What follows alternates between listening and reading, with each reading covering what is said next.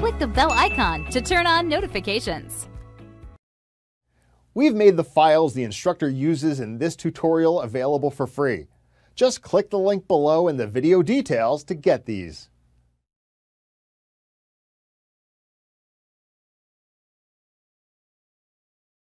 Welcome everyone, my name is Dave Casuto and I will be your instructor for this Introduction to Illustrator class.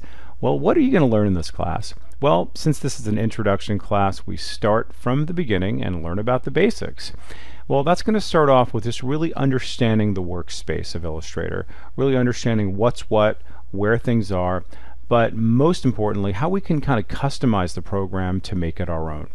But then very quickly we get into some of the illustration tools, understanding basic shapes, how we can work with basic shapes to make more complex shapes, working with the shape builder tools and Pathfinder and compound shapes, but also working with the very important direct selection tools and the pen tools and all the other types of illustration options to really help us be creative. Okay, but then we're going to get into more complex things, right? That's also going to help you do things a lot more efficiently, like working with symbols and graphic styles, the appearance panels, and then all the other transformation options like rotate and skew and all this other good stuff. But we're also going to get into text, right? Text is going to be very, very important. Even though this is illustration, we want to learn how we can actually work with some of our typographical options. And then we're going to get into exporting, right? How do we actually export all of these things to kind of make it our own? But there's so much more than that. But also understand that there's going to be a ton of exercise files for you to work with. We also have quiz questions all throughout, so definitely check those out to test out your knowledge. All right, so look forward to seeing the first lesson, and thanks for watching.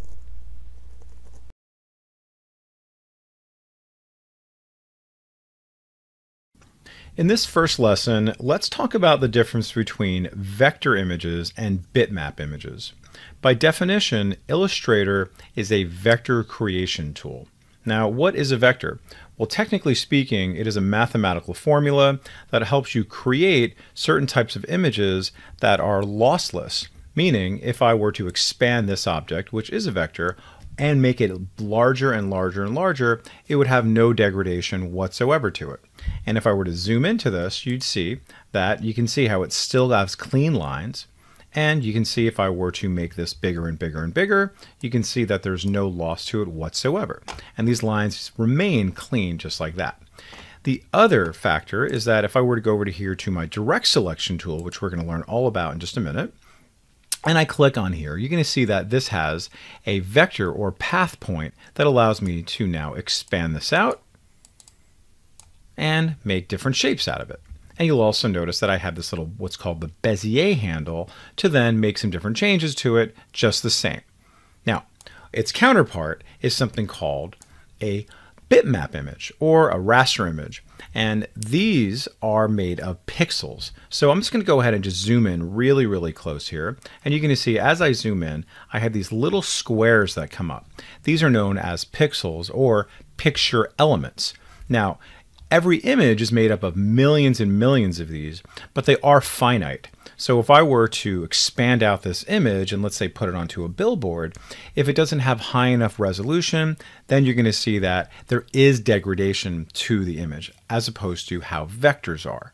Okay, so I just want to get that out of the way just so we understand what we're working with here. Images are going to be bitmap images and vectors are going to be vector where we have these clean lines here. And those are going to be essentially infinite because of that mathematical formula that recreates the image over and over and over again, whereas a rastered image or a bitmap image is going to be finite and it's going to be limited if you're planning on expanding it out. Now, a bitmap image does not have Bezier handles or vector points or anything. I still have the ability to make this bigger if I wanted to and doing all that, but ultimately the image would degrade if I made it too big. All right, so just putting that out of the way, just understanding what our differences are between a vector and a bitmap, and understanding that Illustrator, by definition, is a vector image creation tool. Okay, so understanding that, that's going to set us up nicely for the remainder of our lessons. And most of what we're going to be doing is creating vector images using some tools like the pen tool and some of these other tools over here on our toolbar, which we're going to explore more and more throughout this class. All right, so stay tuned and we'll see you in the next lesson.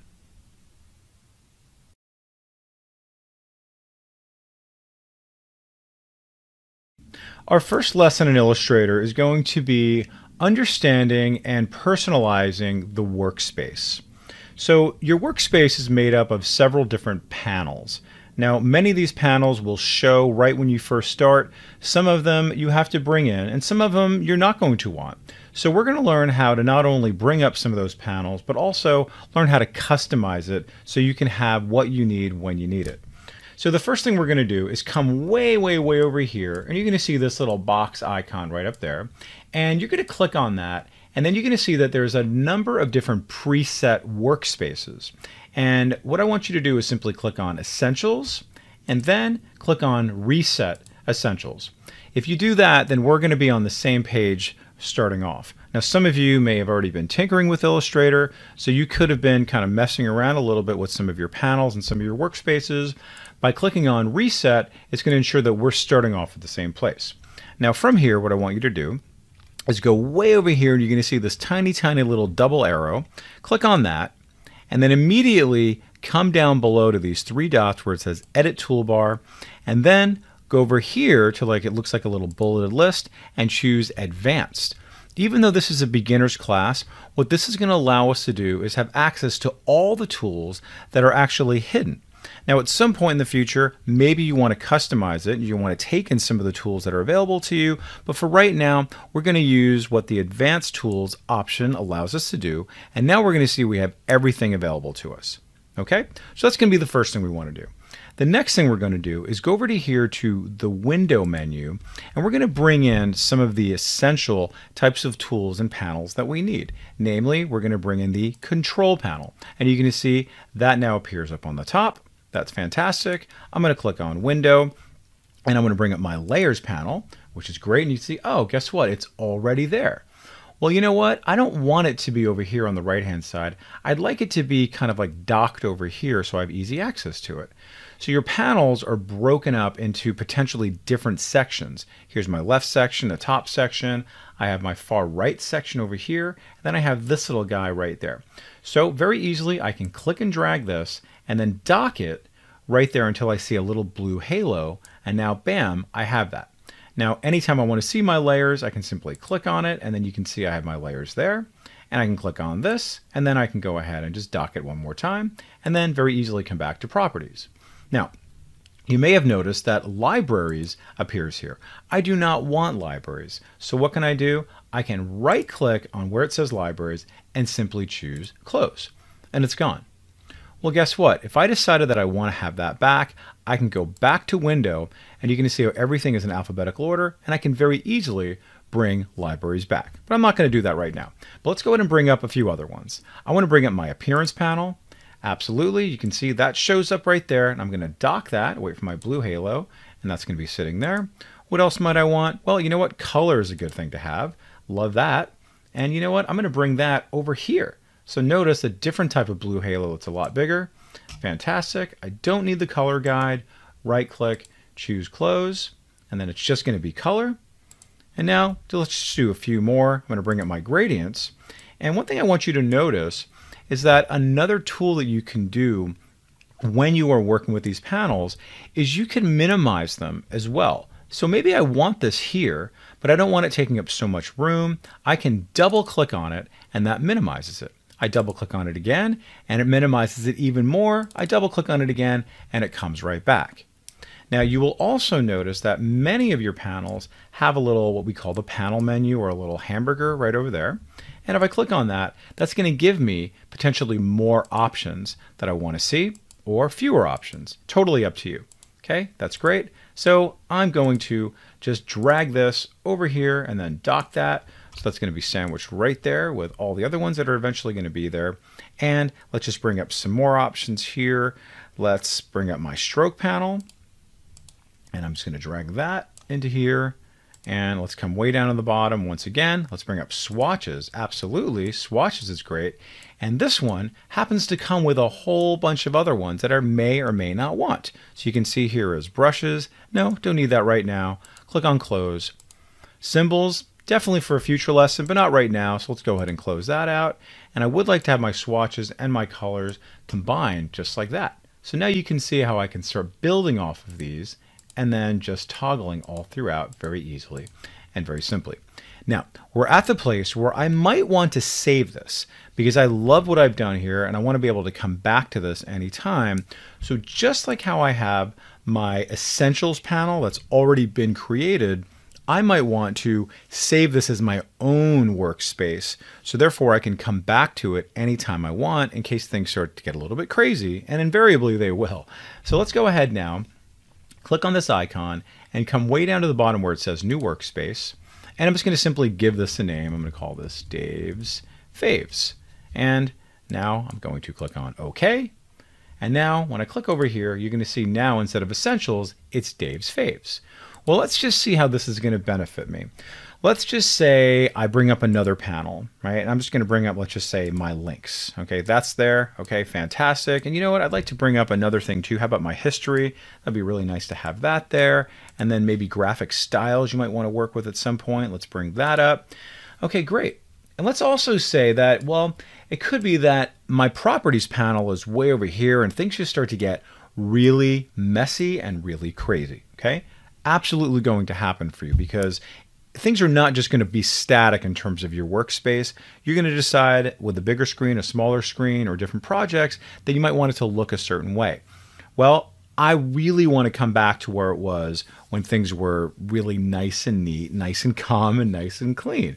Well, how do I do that? Well, I'm going to come back over to here, and very simply, I'm going to choose Reset Dave's Faves. I like to think about this as like the Mary Poppins effect, right? Where there's like a place for everything and everything in its place. So now when I choose that, everything goes right back to where it was just a few minutes ago where I had all of my stuff saved. Okay, so now that's really great for me to be able to do that. Now, the next thing I'm going to do is I'm going to add on something that I really do want. So I'm going to say graphic styles, and I love that. That's great. And now I have a new thing here that was not there before. Well, what about Dave's Faves? Well, this happens to be a candidate to be part of Dave's Faves Club. So what am I going to do now is I'm going to go back here. I'm going to say new workspace. And now what am I going to do? Well, there is no save, there's no overriding or anything like that. I actually have to type it out again. I know it seems kind of weird and it tells me right away the name already exists. Clicking OK will overwrite. I say OK, and now Dave's Faves is still Dave's Faves, but now it has a new one with graphic styles. So that is also going to be the situation where you're going to continue to add on more content. So therefore, you're going to want to keep the same name.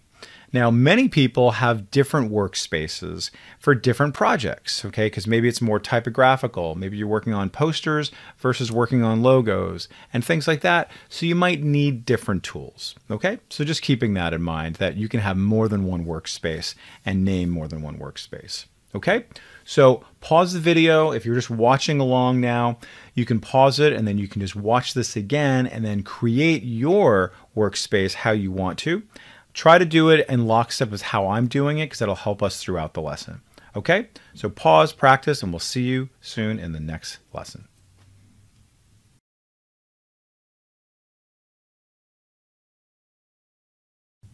In this lesson, we're going to discuss Illustrator's artboards. Now you're going to notice here I have what looks like pages, but each of these is what's known as artboards. Now artboards can be used for a number of different reasons, could be for organization purposes, you could be comparing different types of projects you're working on. Maybe you want to export individual artboards while keeping the other ones separate from each other.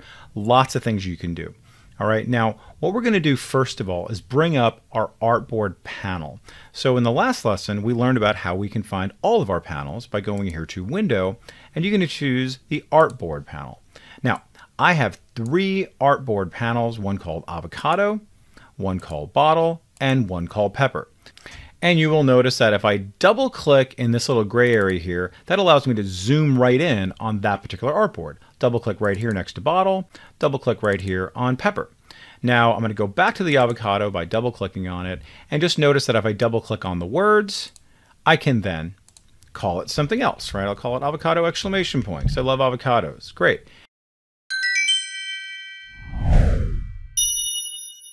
So understand the distinction between double clicking on the word and double clicking on the space to the right of it. Fantastic. Now I'm going to go ahead and zoom out a little bit, and I'm going to do that by doing Control minus on my keyboard, and then I'm going to hold down the space bar and click and drag to the right. Now why am I doing this? Because I'd like to add on another artboard, because potentially I'd like to bring in some more content. Now using my artboard panel, I can very simply click on this little plus sign, and now when I zoom out, I'll be able to see, wonderful, there is another artboard. And then notice how that artboard does not have a name. So I'll go ahead and double click on it. All right, and this one will be a cucumber. Great. So I hit the enter key and now I have another artboard available to myself. Now, what I want you to do next is go over here to our little side panel. Notice how we have all these options here. And you're going to see that way on the bottom is something called my artboard tool. So when I click on that, notice how everything sort of lightens up a little bit, giving me some more options for each individual artboard. See that? This is telling me the name of it. I can simply click on it. Let's go ahead and get this out of the way. And I'm going to go ahead and make sure that this is still chosen. I can click on this and click on this. Now, why am I showing you this? Because you may want to organize your artboards in such a way. Well, let me go ahead and bring Cucumber way down here. Let me go ahead and bring pepper way down here.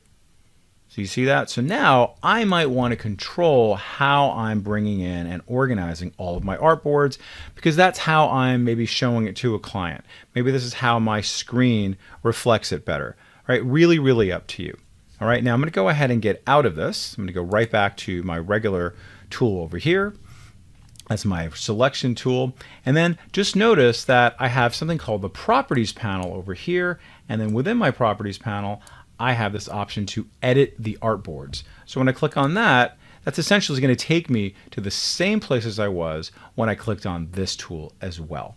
Okay, so just keeping that in mind. Now we are going to be working with a lot of the artboards and a lot of the different tools all throughout. So I just want to get this out of the way. Now, one thing you may be doing at some point is you might be exporting your files and you only want to export one particular part of this. So what I can do is go over to here to File and then Export. And I want you to notice here is this Export for Screens. And then it's going to ask me, well, what would you like to do? Do you want to export just one particular artboard or all of the artboards. See that? So if I really only wanted to work with exporting this avocado, I can very easily just export the avocado as in a different particular location and as a different particular file type, etc. And you can see here it says export artboards. Okay, I'm not going to do that right now. We'll do that later on, but I just wanted to get it out of the way so we understand how Illustrator wants you to work. Okay, so that's a good little primer on artboards. Practice that, get familiar with the tools here on the left-hand side and the properties panel over here on the right-hand side. We're going to be getting a lot deeper into all these tools at some point, but I really just want to kind of skip to some of these really important tools right off the bat before we get into all the nitty gritty of everything in our properties panel and everything inside of our tools panel. All right, practice that and we'll see you in the next lesson.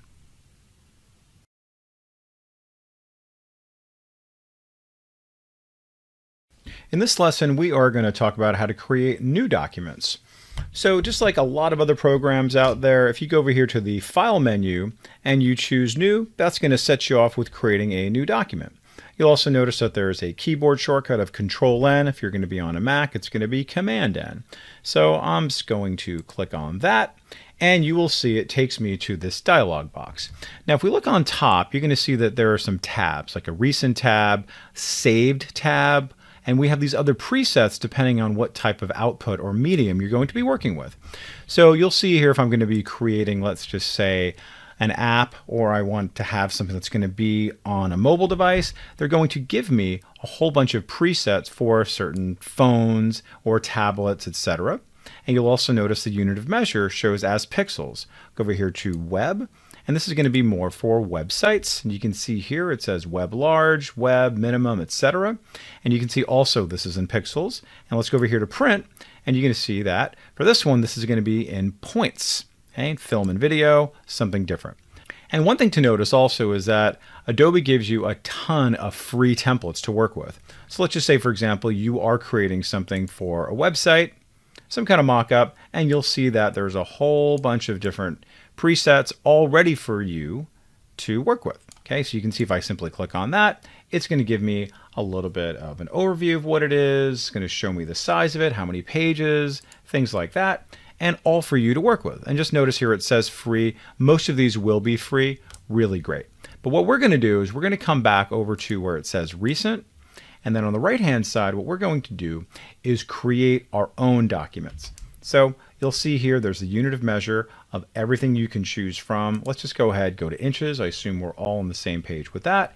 And I'm just going to make it be, let's just say five by five inches. All right, but let's say, for example, I wanted to make that so it's going to be wider than it is tall. So let's go ahead and make that seven. And you'll see that the orientation now changes. So the orientation is going to either be portrait or it's going to be landscape. So if I wanted to switch that, notice I can very, very easily switch that. Now, earlier we did talk about artboards. So, right here in the process of you creating a new document, you can then add on new artboards. So, I'm going to go ahead now and choose three artboards. Make it so when I create this document, it's going to have three artboards already set up. Below, you have the option for a bleed. So if you want something to have no bleed at all, what you would do is you'd make this go up to 0.125. So therefore, when you print it out, it's going to come way off to the edge and you will not see any empty space as a result. Now, having zero bleed, you probably think that that's going to be okay, but sometimes printers don't pick up on it, so you want to try to go all the way up to this number here if possible. The other thing you're going to see is the color mode. Now, you'll see that the color mode could be RGB, if you are working with web or you're working with screen, click on that. You also have the option for CMYK. And that's going to be better when you're printing. So RGB is red, green, blue color profile. CMYK for printing is cyan, magenta, yellow, and the K stands for black. And then down here for your raster effects. Earlier we talked about raster versus vector. Now notice the PPI, that's going to be pixels or points per inch. All right, so depending on the size and the resolution of what you want to work with, you would then choose this. So if I know that I want to have just really high resolution, it's going to be high quality, printing in a magazine, printing in a billboard, I would want to choose this.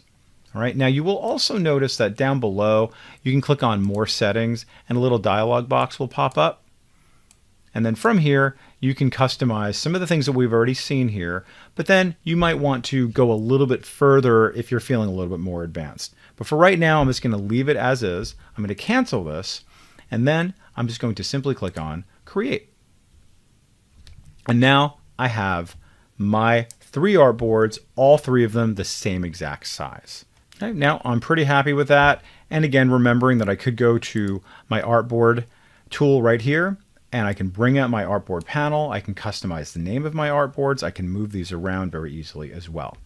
The other thing some of you may have noticed is the fact that I have this little red line all around there.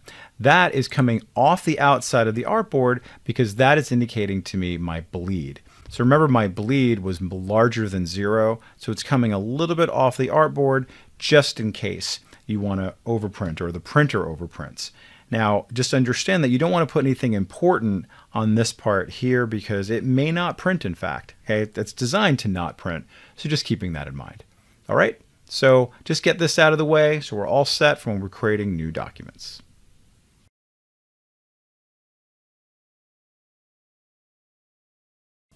One of the most common tools that you'll be using is the selection tool. So if we look over here in the upper left of our toolbar, we're going to see this black arrow. Now the selection tool allows you to not only select objects, but also resize objects and rotate objects, and also give you information about the objects. So as an example, if I were to click on this, I select it, and you'll see I get this little bounding box around it. Now, if I go over here to the corners, you'll notice I can go ahead and click and drag, and I can resize it. If I come outside of the corner, you'll notice here I get this little kind of button hook, and it's going to allow me to rotate. Okay, so let's go ahead and go to this arrow, do the same thing, come to the corner, and just simply click and drag.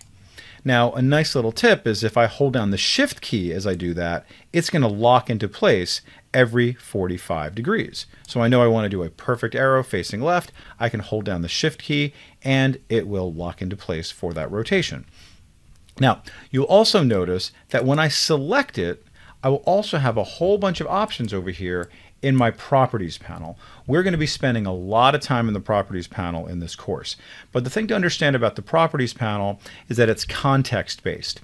So if I were to select on this object, you'll notice I'm going to get a whole bunch of options to know about that, the properties of that particular file. And if I go over to here to my text, now if I select on the heart, you'll notice that when I click on it, it shows me the fill color, that's fantastic. And you'll also see that I can see the fill color here and the fill color there. Let's click on my star. You'll notice that the fill color now changes to reflect that color yellow. So you have to select it to affect it. So just understand that that is what the selection tool does.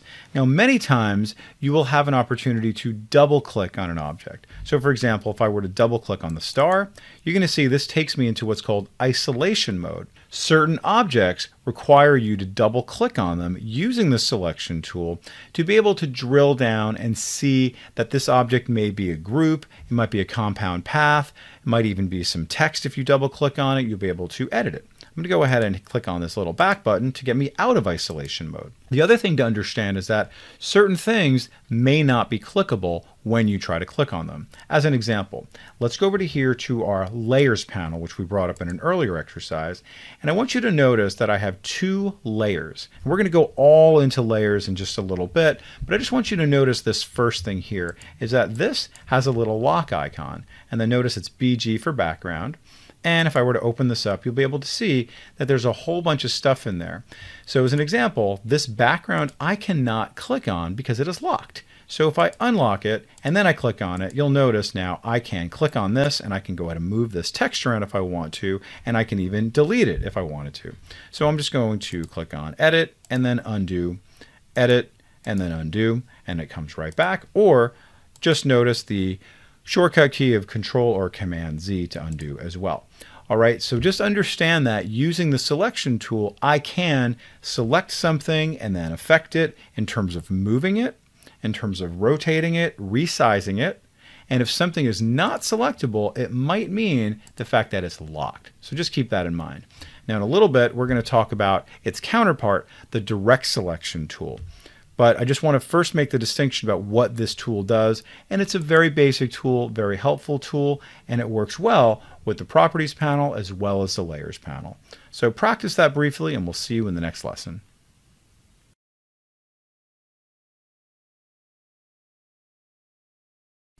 In the last lesson, we discussed the regular selection tool, and that allows us to select an entire object, move it around, and rotate it and resize it.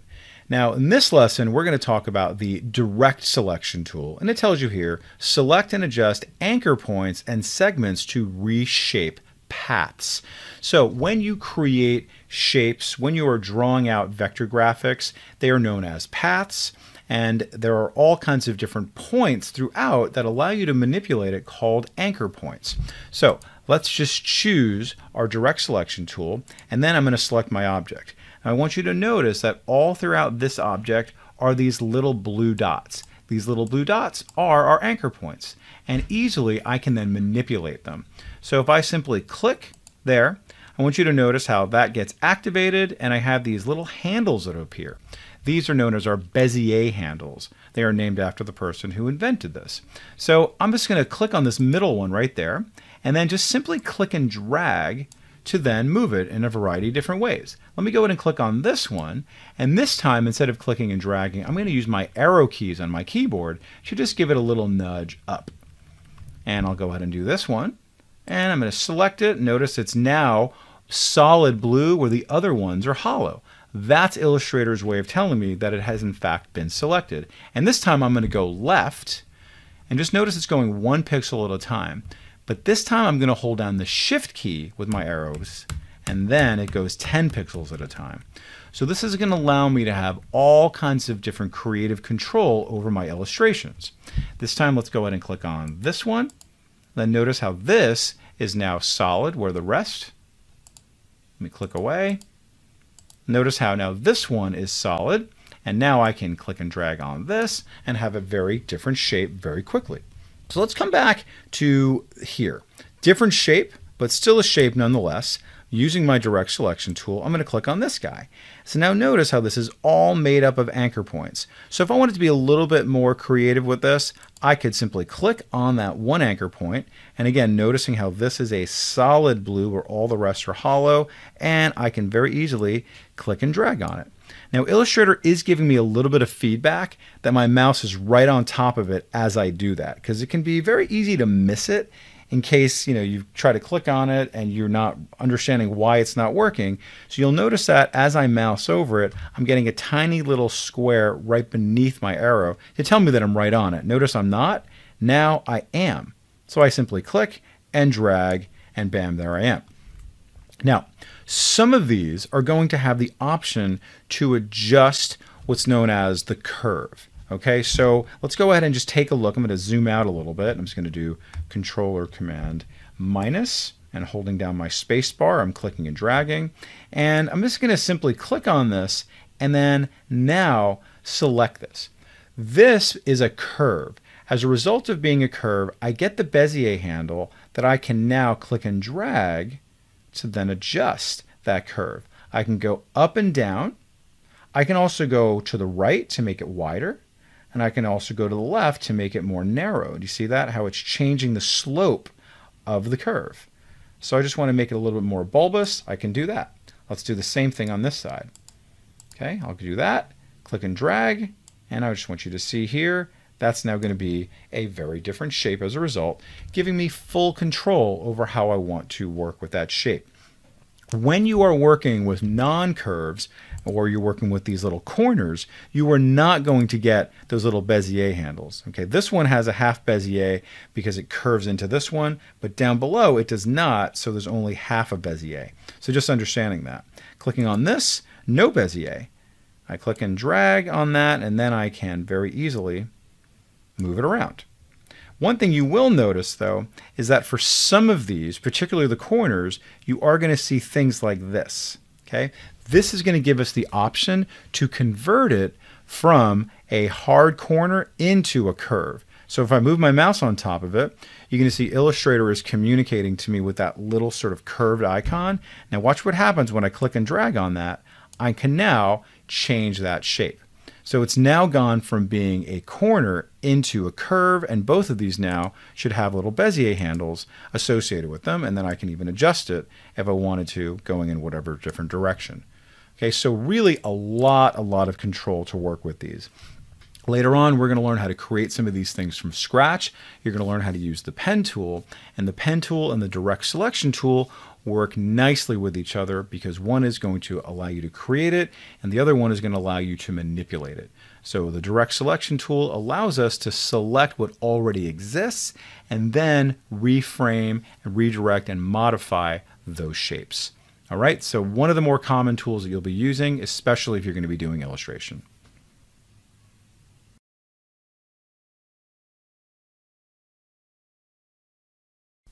We're going to continue our lesson on selection tools by discussing the lasso tool. So notice you move your mouse over, it gives you a nice little preview of what it is, and you'll also notice that the shortcut key is a Q.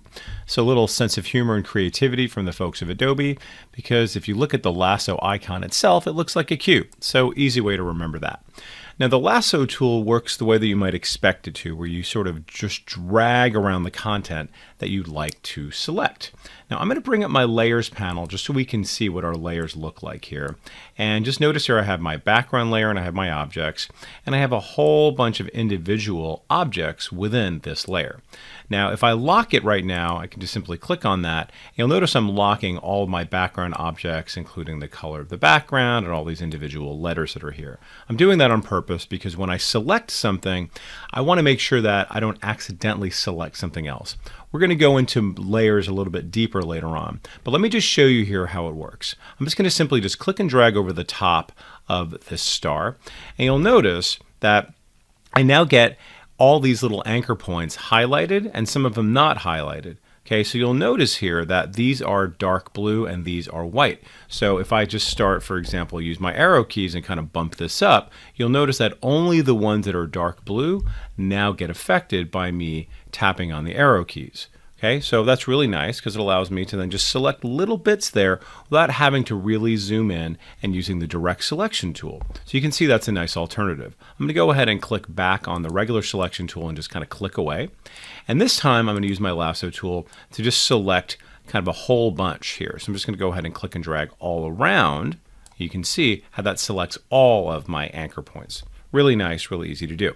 Okay, now let's just go ahead and take a look at some other options for you here. So I'm going to unlock this layer, and I just want you to notice that way down on the bottom I have this one rectangle layer. And I'm going to click on this little circle here just so you can see a nice little trick of how you can select individual objects within a layer. If they're not being selected themselves, you can click on this little circle, and that will just isolate that one layer so then it's selected, and you know you're not going to get something else. And you'll also notice how I have this little red square there, and then this circle has a circle around it. Just give me the indication that in fact it is selected. Now, if nothing is selected there, and I just wanted to just highlight, let's just say, the background there, I can just simply click on this and just notice how I've just kind of touched it and the whole thing gets selected there. Okay, and you'll notice even I have my little anchor points there. And if I wanted to, then I could go ahead and go back to my direct selection tool, which is the A key, or just simply click on it and then click on the little anchor point there. All right.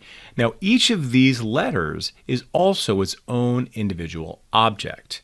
Okay, because what we've done here is we've done something called outlining our text. And we're going to talk about that in a future lesson. But you may want to isolate individual letters here. And it might be a little more difficult to go and isolate them here in the layers panel. So I can use my lasso tool to do that. So what I'm going to do this time is I'm going to lock just my rectangle so I don't accidentally get too much selected here. And let's just say I want to have the YOU. I'm going to make sure that my lasso tool is selected. And then very simply, I'm just going to drag around it. Make sure I'm going around it, not touching it. And then you'll notice how I get all of them selected here. Okay, so and even all the anchor points and everything. Now, if I, I'm going to go ahead and just deselect that. Now, if I have my lasso tool here and I just accidentally just kind of click like this and I'm just kind of lazy about it, notice I'm not getting the top part there. Notice they're hollow anchor points right? So you really want to just kind of pay attention to what you're selecting on when you're selecting it, and just notice that the lasso tool is going to allow you to select objects, and it's very much more about the anchor points that you're selecting rather than the whole object itself. All right, so practice that, and we'll see you in the next lesson.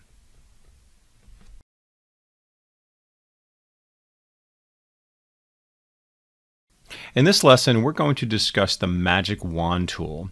The Magic Wand tool allows us to have certain types of automatic selections. So for example, I have all of these colors blue here, and I like to select all of the objects that are blue on here. But it might be that I have this black stroke that I want to select, and I want to select all the objects that have a black stroke. So if you think about an illustration you may have, you may have that people are all wearing the same color uniform that you've drawn, and you want to change that color uniform from black to white. You can very easily do that by selecting all of those objects. So let's go over here to our magic wand tool and you're going to see it's going to tell us what it's going to do. You can see the keyboard shortcut, everything like that, nice little graphic visualization of what it does. But let's go ahead and go a little bit deeper into this tool before I show you what it does by double clicking on it. Now, this is a very important and very unique nuance to Illustrator that many of these icons, many of these tools have the ability to double click on them to see extra options available to you. Now I just double clicked on the icon and now this just appeared. Now when this appears it's going to ask us, well what are we going to affect essentially when we're doing our selection? Are we looking at just the fill color? Are we looking at just the stroke color, the stroke weight, opacity, blending mode, that type of thing? So, for example, using the magic wand tool, now that it's activated, I'm going to simply click right here on this blue. And you'll notice that I click on one blue and every single one of these objects that has a fill color of blue will then get selected. Now you'll notice that there's also a tolerance level. Well, let's just say, for example, I have a slightly darker blue or a slightly lighter color blue. Depending on the tolerance I've chosen, it's going to select those. So the higher tolerance, the more sort of open it's going to be to say, hey, listen, you're kind of blue, I'll go and add that. If you lower that down, there's going to be less of a chance that you're going to get it selected. So depending on what you have that selected as, you have kind of different gradations of a blue, you might want to just adjust your tolerance. Now let's go ahead and go to my stroke color now. And I'm just going to just deselect here, just good practice. And I have my stroke color, and this time I'm going to choose all of the whites. So I go over to here, go to my magic wand tool, and I'm going to simply just click here. And you'll notice that I selected on the object. Now, I didn't select directly on the stroke color, right? But you'll see that as a result, it actually just did the red and the white, the red and the white. It did all of those, but it didn't do the red and the black. It didn't do the blue and the white. Okay, so very important there. So I'm going to go ahead and deselect. Okay, but this time what I'm going to do is I'm going to deselect fill color. So therefore, only objects that have a certain stroke color will then get affected. So let's go ahead and now do the white again. I'm going to click on this. And now you'll notice that every single object that has a white stroke color now gets selected. Earlier, I had both of these selected. So therefore, it was like, okay, well, both of these things have to exist in order for that object to then be selected. Okay, so just keeping that in mind how that works. So let's go ahead and just try one more. Going to go ahead now and just deselect this one here, go to my stroke weight, and you'll see now it says, okay, well, we have kind of a tolerance of five points, okay, as opposed to this other unit of measure of tolerance, which is no points or pixels. It's just basically sort of a percentage. You're going to see here is a point. So I'm going to go ahead and just deselect now, come back to my magic wand tool, and let's just bring this down a little bit. And I'll just bring this down to, let's just say two. All right, very good. Now it's only about the stroke weight, and I only want ones that are going to have that level of stroke. So notice I'm only getting the ones that have a very thin stroke there. So they really are giving you a lot of choices to work with here in terms of our fill color, our stroke color, and our stroke weight.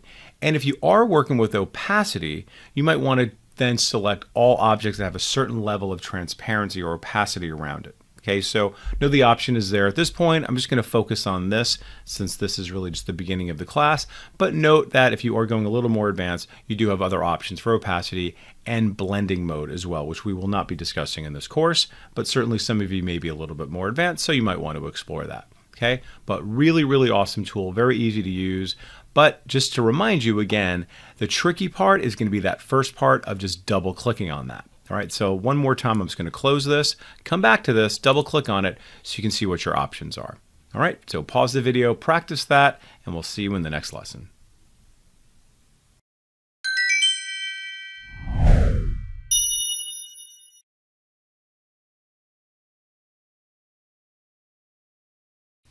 In a previous lesson, we have discussed the selection tool. The selection tool has a lot of different purposes and applications, including selecting, rotating, resizing. So if I rotate from the outside here, you can see me doing that. I'll go ahead and resize, just coming out from here. I'm going to go ahead and undo that by just going over to Edit, Undo, Edit, Undo, and I'm back to that. Now, Illustrator has a whole series of other transformational tools that you may prefer at different times. So if we come over here to the left-hand side where our tools are, you're going to see that I have the Rotate tool. If I right-click on that, couched in there is my Reflect tool. Now I'm going to go ahead and click on this little icon right there, and I'm going to bring this out so I can see them both just like this. Now to the right of that, you're going to see I also have my Scale tool and my Shear tool. We're going to focus on these. We're not going to be talking about the reshape tool in this class, but I'm just going to go ahead and bring those out just the same and have them over here. Now let's go ahead and see what they do. Now with this selected, I'm going to go ahead now and just choose this tool, which is my rotate tool. Now with this tool selected, I don't actually have to select the object itself. Notice there's no bounding box per se, but if you'll notice here, there's a little crosshair right there. at any place on the canvas, I can then click and drag. Notice that it's a little bit weird at first because like, wait, I can't see anything, I'm not grabbing anything, but I can really be anywhere on the canvas and rotate it. Bring that back. You'll also notice that if I hold down the shift key, I'm also rotating it and locking it at 45 degrees, just like I did in a previous lesson. Pretty great. Now, you'll also notice, I'm going to go ahead and zoom in here a little bit, that I have this little, little, what we call a reference point or registration point, this little blue guy right there. I'm going to go ahead and back out again. And what that's going to do is basically set kind of like the fulcrum of how that's going to rotate. So again, you'll notice that when I rotate it, it rotates right there in the center of that little fulcrum. Now, if I now go over here and I just simply click, notice that fulcrum now gets lodged over here in the upper right. And now when I rotate, you'll see it's rotating around that fulcrum. So pretty neat. Now, a lot of us discover this kind of by accident. Like we didn't mean to click and then we say, well, what's going on here? Why is it doing it there? Well, now you know because this little blue guy is now dictating where it's going to rotate around. So I'm going to bring that right back, and then now it's right back in the center. Pretty cool, huh? Now, Let's go a little bit deeper into this. So earlier we discussed the magic wand tool where I was able to double click on the magic wand tool and I was able to see some extra options. Now, when I double click on this, you'll see I get my rotate options. So if you know exactly how you want it to rotate, you can absolutely do that. So if I know for sure I want this to rotate, let's just say 90 degrees, I can go ahead and do that. And then watch this, I'm gonna click on copy and now it's done that. Beautiful. I'm going to go ahead and undo one more time. This time I'm going to go ahead and double click on it and I'm going to say 90, but this time I'm going to say copy. And you'll see that now, in addition to having my initial copy, I now have this copy. So not only did I rotate, but I also made another copy of it. Just right from this dialog box. You see, bam, I can go ahead and do that. Now let's choose, let's do 45 degrees and choose copy. And now come back to my selection tool. Now I have a whole series of planes. Click away and you can see what I have there. All right, so a lot of functionality there. Now, of course, I could have double clicked on this as well. So I'm going to just select this, double click on this icon, and I pretty much get the same options. Okay, so earlier I double clicked on this one, and then on this one I double clicked. Right, same same functionality, same outcome. So let's go ahead and explore some of these other ones. So with this one still selected, I'm going to now choose this guy here, which is my reflect tool. Reflection is going to be really, really important for when you are drawing out objects. So sometimes you have just one half of an object. Let's say you're, you're drawing out a wine bottle or a face. The other side of that object that you've drawn is going to be identical to the one that you've drawn on the left hand side. You might just want to reflect it. In this case, I just want to reflect it, so we're just going to have a little bit of a you know, different side to it. So I'm just going to go ahead and just double click on that. And you're going to see I have my horizontal option, just like that to reflect, or my vertical option. And notice it's giving me a preview. How's it giving me a preview? Because I have preview selected. So you can see here, if I want to do that, and let's just say I want to have them kind of go, you know, nose to nose here, I have this as a horizontal reflect. I'm not changing the angle. I'm going to simply choose copy. And now I'm just going to use my shift key and my arrow keys just to kind of nudge those up there. And now, without having to do too much effort at all, I've now reflected them. Now let me just move these out of the way so you can really see it. Okay, so again, all I did was just double click on it to get there. So here I was with this selected, I double clicked, and then you can play around with if you want to do a vertical reflection, horizontal reflection, and even potentially changing the angle when you do your reflection. But just remembering that one option is to copy, and the other one is just to make a reflection of that object, but not making a copy. All right, let's go ahead and now cancel that, and let's just check out some of our other options here. I'll just choose this one, come back to my selection tool, choose this one, and now you'll see I have this one, which is just the scale tool. Scale just means size. So far we've seen how we can do that pretty nicely and easily with a regular selection tool, but let's see what kind of tricks we have using the scale tool icon here. So when I click on that, you'll notice how my little bounding box goes away. And very similar how I saw with my rotation tool, I don't have to click on any little bounding box or anything like that. I can just go ahead and move my mouse to the outside and you'll see how it's now growing. Okay, and I can go this way, this way, etc. Now you will notice once again that I have this little blue little crosshair reference point right there, that's telling me where it is in fact scaling from. So if I want to scale, let's just say from right there, I'm going to get a very different experience. So now I'm going to go back to this tool if it's not highlighted already, and you'll see now it's kind of just leaning on that part right there. It doesn't come from the center. So sometimes you really want it to sort of like have a base on one little part, and that's the, where this base is, and then it will then scale or grow right from there, or potentially even sync right from here as well. Okay, so let's go ahead and double click this time and we'll see what other options we have here. And you'll see here non-uniform or uniform. Well, some of you have made notice that when I was resizing it, it wasn't resizing and constraining the proportions at the same time. So this time I'm going to say uniform. All right, let's go ahead and just click OK. And now let's just see what it does there. See, I can now make it scale out by going out this way. Okay, great. Now it's uniform. I love that. And now let's go ahead and see what our options are within the dialog box. So I'm going to double click on this and I'm going to go back to uniform and this is going to give me more choices. So I'd like to make this maybe about one and a half the times bigger. So I'm going to just do 150 and you can see there it is and it constrains the proportions. Now, Going a little further, you do have these options here in terms of scaling the corners and scaling the strokes and effects. In future classes, we are going to be talking about strokes and effects and also for our corners. When you see that the object is not scaling to proportion the way that you like to see it scale, you may want to tell it, hey, you know what, Illustrator, you need to also scale the corners because if you have decided that the corner radius is a certain number and it's not scaling them according to what the new size is, you may want to make these changes. All right, so just remembering that you have these options here. Same with strokes. If you decide that your stroke or your outline is, let's say, five points, but you also want it to grow as the object grows to make it be actually 50 points, you'd want to make this choice here. Okay, or if you don't want it to, if you want it to remain thin, you can uncheck this. All right, now of course I have this option to copy as well. So now when I click away, you will see that I have my original and I have my new one because I've now made a copy of this. All right, I'm going to go ahead and delete that. And now let's go over here to our next one, which is going to be our shear. So if you'll see here, I have my shear tool. And then just like that, let's make sure that this is first selected. And now, just like how I had with my other object, I'm going to see here I have my little crosshair, my little registration point, and this is what shear is going to allow us to do. Maybe you want to shear this way. You're going to kind of give it the, the effect that it's sort of bent a little bit you can see how, okay, I want it to be a little bit different than the rest of these. Maybe it's in the middle of turning. Maybe it's a different angle of sorts. You can absolutely do that.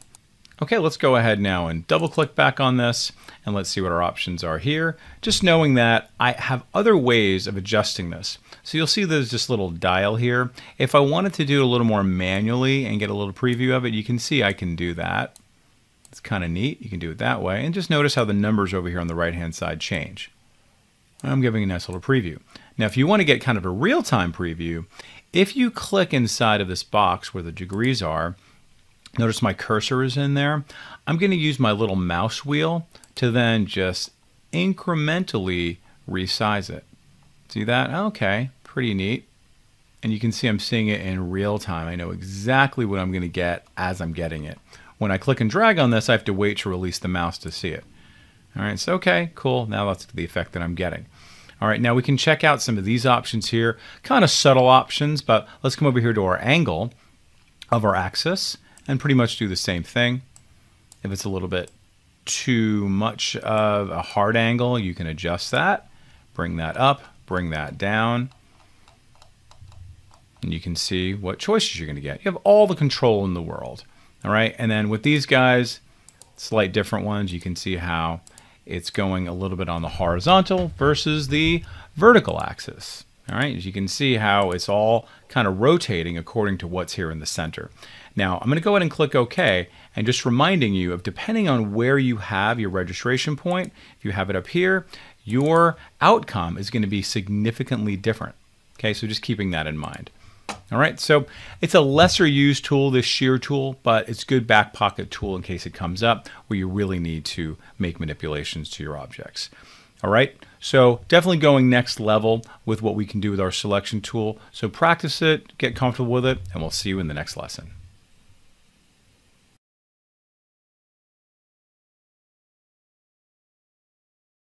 In this lesson, we are going to discuss how to draw shapes. Shapes are essentially the building blocks of so many things that you will illustrate in Illustrator. So we can start off with squares, circles, we can do polygons, we can do all kinds of different shapes.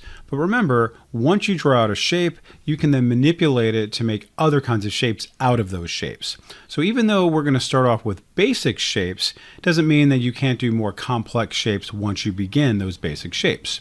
So let's go ahead and see how we can draw out some shapes. So you'll notice over here, I have on the left-hand side, I have this option for a rectangle. If you right-click on it, you're going to see a little flyout menu appears. We can do rectangle, rounded rectangle, ellipse, and so on. Now I can also use my little flyout menu to make this pop right out, and then this is going to be floating here anytime I want to use it. I can certainly collapse it, make it go this direction, or I can go collapse it this direction, or I can close it out and do that way as well. Let's go ahead and right click again and come out, and I'm going to have this expand out and just kind of have that sit there. Now I'm just going to just draw out initially my just perfect square. So I'm going to click on this, and the first thing I want to think about is, well, what color do I want that square to be? Because currently I have no color at all as my fill, and I'm going to have this dark gray color as my stroke. And you'll also notice up here that the stroke will then come in at seven points. Now I want to change all that. So what I'm going to do is I'm going to double click here on my foreground fill color, and I'm just going to go ahead and just choose any old color if I want to. You can go ahead and put in your RGB and your CMYK if you know what that is. And just very simply, I'm going to click OK. And now I have the color here, and you can also see it up there. That's ready to go. All right, now let's see what we can do to draw out our perfect square. Now you'll see here I have this little diagram for us to work with. I'm just going to click and drag while holding down the shift key and just draw it out. Now why did I hold down the shift key? Now I want to constrain the proportions, right? That's why you do the shift key. So now you can see here perfectly I have got a square. Now keep in mind now that shapes are vector graphics. And later on, we're going to talk more about vector graphics. We've already talked a little bit about it. But when you're working with vector graphics, we have these little anchor points that come out that I can use my direct selection tool to then select and manipulate. Okay, but if I want to just resize this very quickly and easily, I can go to my regular selection tool and then just simply click and drag that in.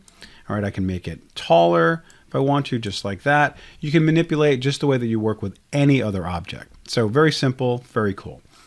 Okay, so now I'm going to go ahead and just select it. And then if I wanted to now change the color of this, very easy to do that. I can go over to here, double click. It's still selected. And I'm going to go over here to blue.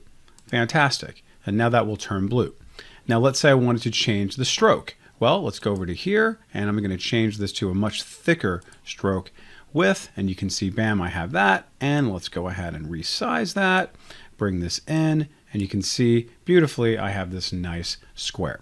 Okay, let's go ahead and draw out a few more. I'm going to delete this now. And this time I'm going to draw out a circle. But this time I'm going to draw a circle concentrically. I'm going to use some keyboard shortcut combinations to do that. So let's go ahead and choose my circle there. And that's nice. And let's go ahead and choose a different color this time. And I'll choose yellow. And this time I do not want a stroke. So what I'll do is come over to here to my stroke color and then very simply choose this little slash right there. And that's telling me I'm going to have no stroke on that at all. I'm going to have a yellow fill.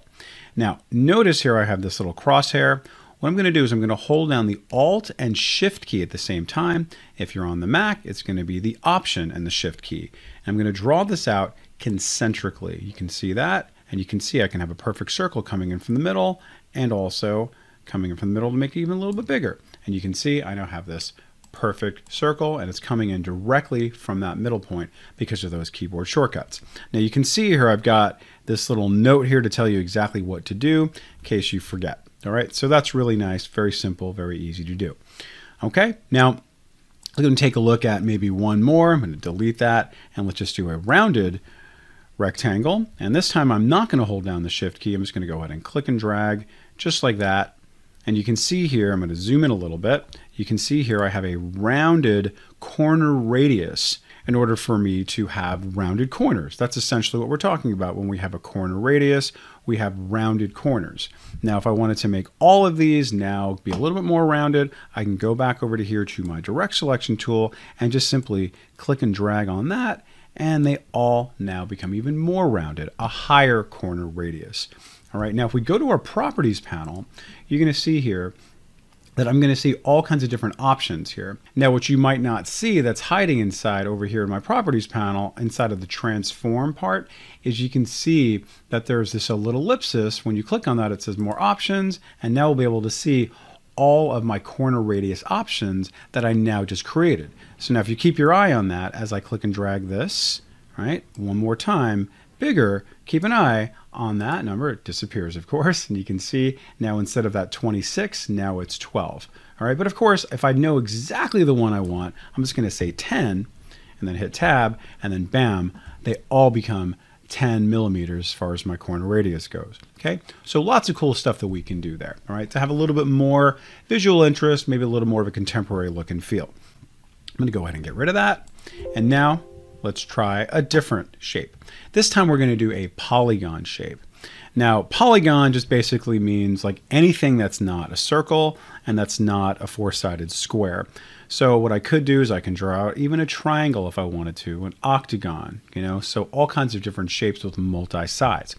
So what I'm going to do this time is I'm going to simply just click and then just click anywhere. And you'll notice that as soon as I click anywhere, this comes up giving me the option for how many sides do I want. So I'm just going to go ahead and choose three. I click OK. And now just like that, I have a triangle and I can just come over to here and resize it. And now if I wanted to rotate this, I can then go back to my regular selection tool and then rotate it. And you can see here I get my little button hook and then maybe I'm going to make like an arrow of some kind. Just like that. That's how I'm going to start off. That's pretty neat. And then that's how that's going to be, just like that. And then resize it this way. You kind of play with it until you're kind of, that's the beginning of my shape of sorts. But just notice how this also has the option for changing my corner radius. You see that there? And you can see there it is there as well. So just know that all of these corner corners have the option for corner radii manipulation if you like.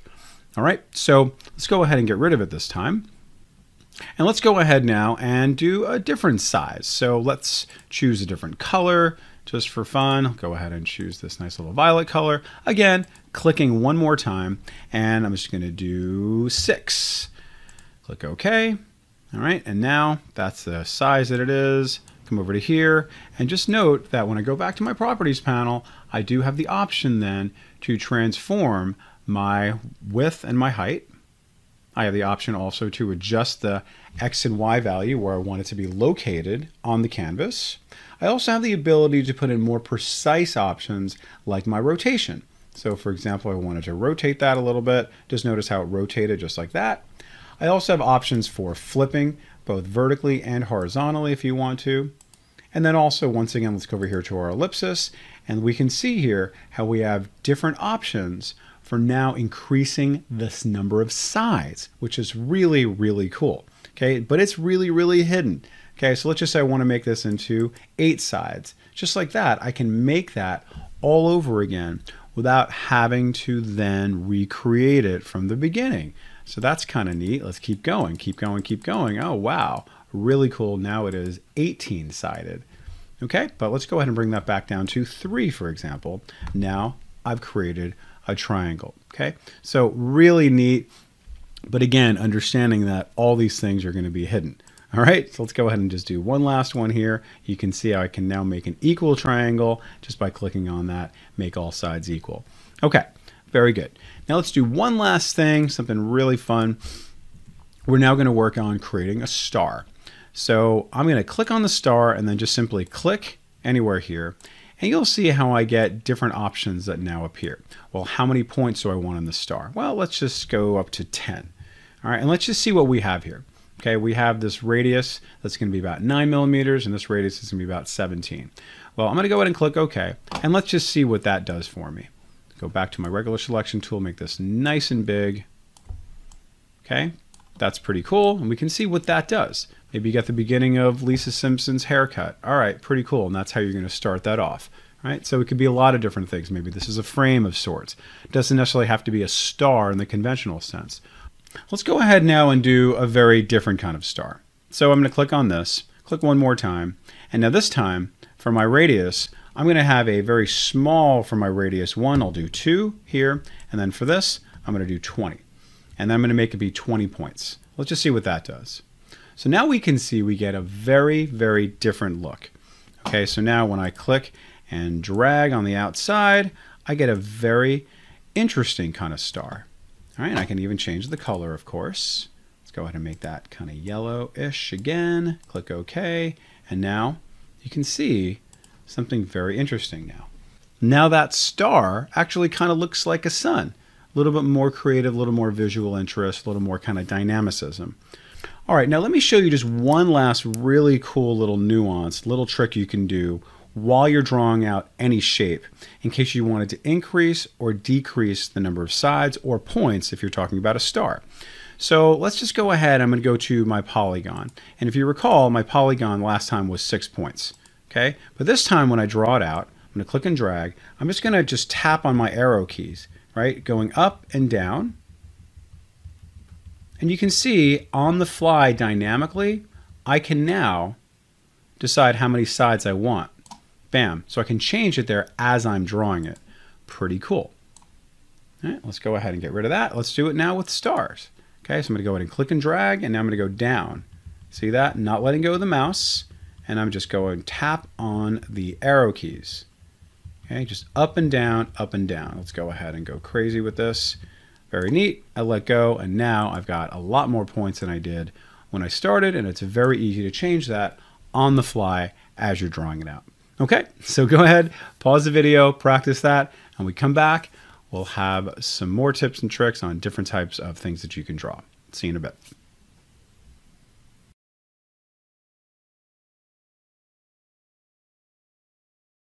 In this lesson, we're going to continue our discussion on drawing out different types of shapes to kind of get us started with our illustrations. Now we're going to go over to here to our little neighbor where you might see a little diagonal line. If you right click, you're going to see all kinds of other types of drawing tools. The line segment, arc, spiral, rectangular, grid tool, and also the polar grid tool. So the line segment tool is quite simple. You simply just go ahead and select it. Make sure you choose what color you want for your stroke and also what width you want. So very simply, I'm going to go ahead and just simply click and drag, and now I've got a line, and that line is six points. So I'm going to go ahead and just increase that. Really, really nice. Now, if you want to have a very straight line going across, all you do is hold down the shift key and now you've got a straight line and I can also go this direction. Notice I'm making a perfectly straight line and I'm good to go.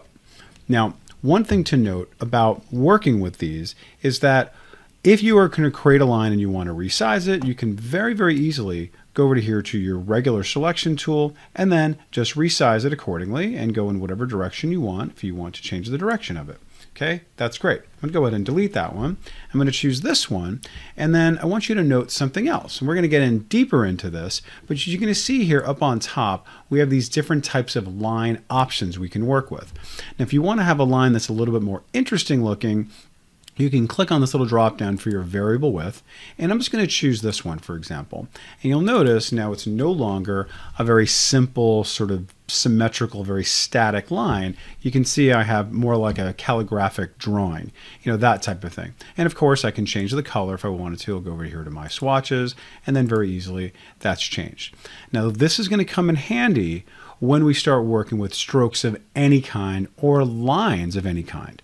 So let's go ahead and continue our conversation. Go ahead and delete these and let's discuss how we can work with other things. I'm just going to do a very simple lesson on the arc tool. I'm just going to click on that and then just very simply click and drag. Now, a nice little modifier is if I tap on the arrow key going up or down, you can see here I have now adjusted what that arc is going to look like. All right, so also depending on where you're at, you also may say it's going to go that direction. Okay, that's great. You can see you can go to the other side. Now I'm going to stretch this out, and now just like that, I've got that shape. If that's the exact shape you need, you've got it. Let's go ahead and try a different one this time. I'm going to go over to here and you can see very cool. I've got a very interesting different shape, but now using the arc tool. Fantastic. Let's go on with the conversation. Let's go over here to the spiral tool. And keeping in mind, I have a stroke of 20 as I'm about to draw this out. Let's bring this maybe down to 10. And then I'm just going to choose a very simple black one. Now, for this particular tool, I'm now going to just simply click and drag out from the middle here. And as I do that, I just want you to see all these little spirals that I get.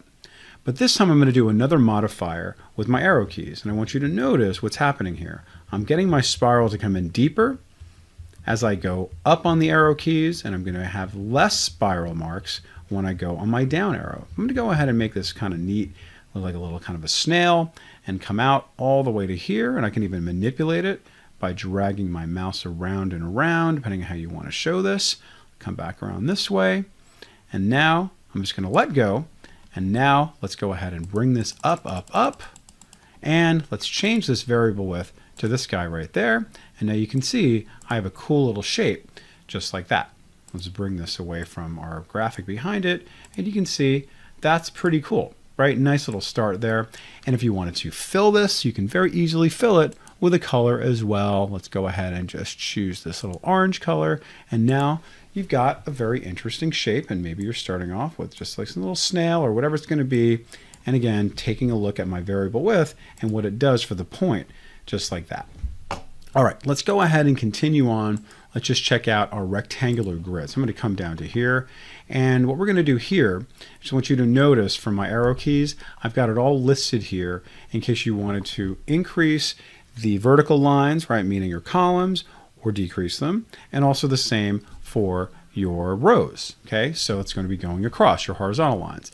Well, let's go ahead and see what that's going to look like in case you're wanting to draw out a rectangular grid. It could be really nice just for organizing your content. Maybe you're just using them as grids, or you're using your content as like a table might. So you want to actually control your content and segment it like you would a table. So let's go ahead. I'm going to simply click and drag out just like this. And now I'm just going to start tapping on the up arrow. Notice I get more rows. Tap on the down arrow, less rows. Tap on the right arrow, I get more columns. Tap on the left arrow, I get less columns. All right, so let's go ahead and finish up with that. And guess what? These are all strokes just the same, so I can make these thicker if I wanted to. And potentially you want to do something maybe a little bit different with these and you have again different kind of visual interest it kind of fades away maybe it's a fence maybe it's a tennis court, uh, net, or something like that. You're just trying to kind of create the illusion of reality. Those variable widths can be really helpful for you. But really neat to be able to just very easily create something like this without having to draw out a million squares. You can use your rectangular grid tool. Okay, now let's finally come down here and let's use our polar grid tool. Okay, so let's go ahead now and I'm going to use very similar modifier keys to adjust the number of radial dividers and concentric circles as I did with my table. So let's just go ahead. I'm just going to go ahead and click and drag out like this. And watch this as I tap on the up arrow keys. You see I get more of those. I go down, I get less of those. Okay. And now I'm going to go to my right arrows and notice how I get like more pieces of the pie. See that?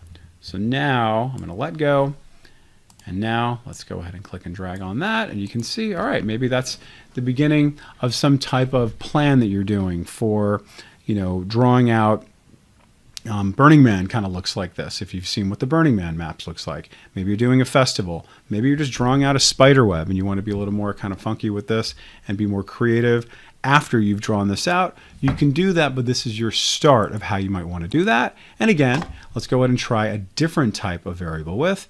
Let's go ahead and just try that. Cool. All right, and if it was a little bit more thick, I'll be able to see it even more pronounced. You can see, very neat. And let's try a different color. Go to here, and now you can see, very cool, very interesting graphic that you might be starting off with. Okay, again, this is all just starting points that you can then ultimately create something from these as we move forward, we're going to learn about expanding our appearances to then be able to manipulate each individual part of our graphics and all of these illustration tools that Illustrator gives us to start with. Okay, so go ahead and pause the video, practice this, and we'll see you in the next lesson.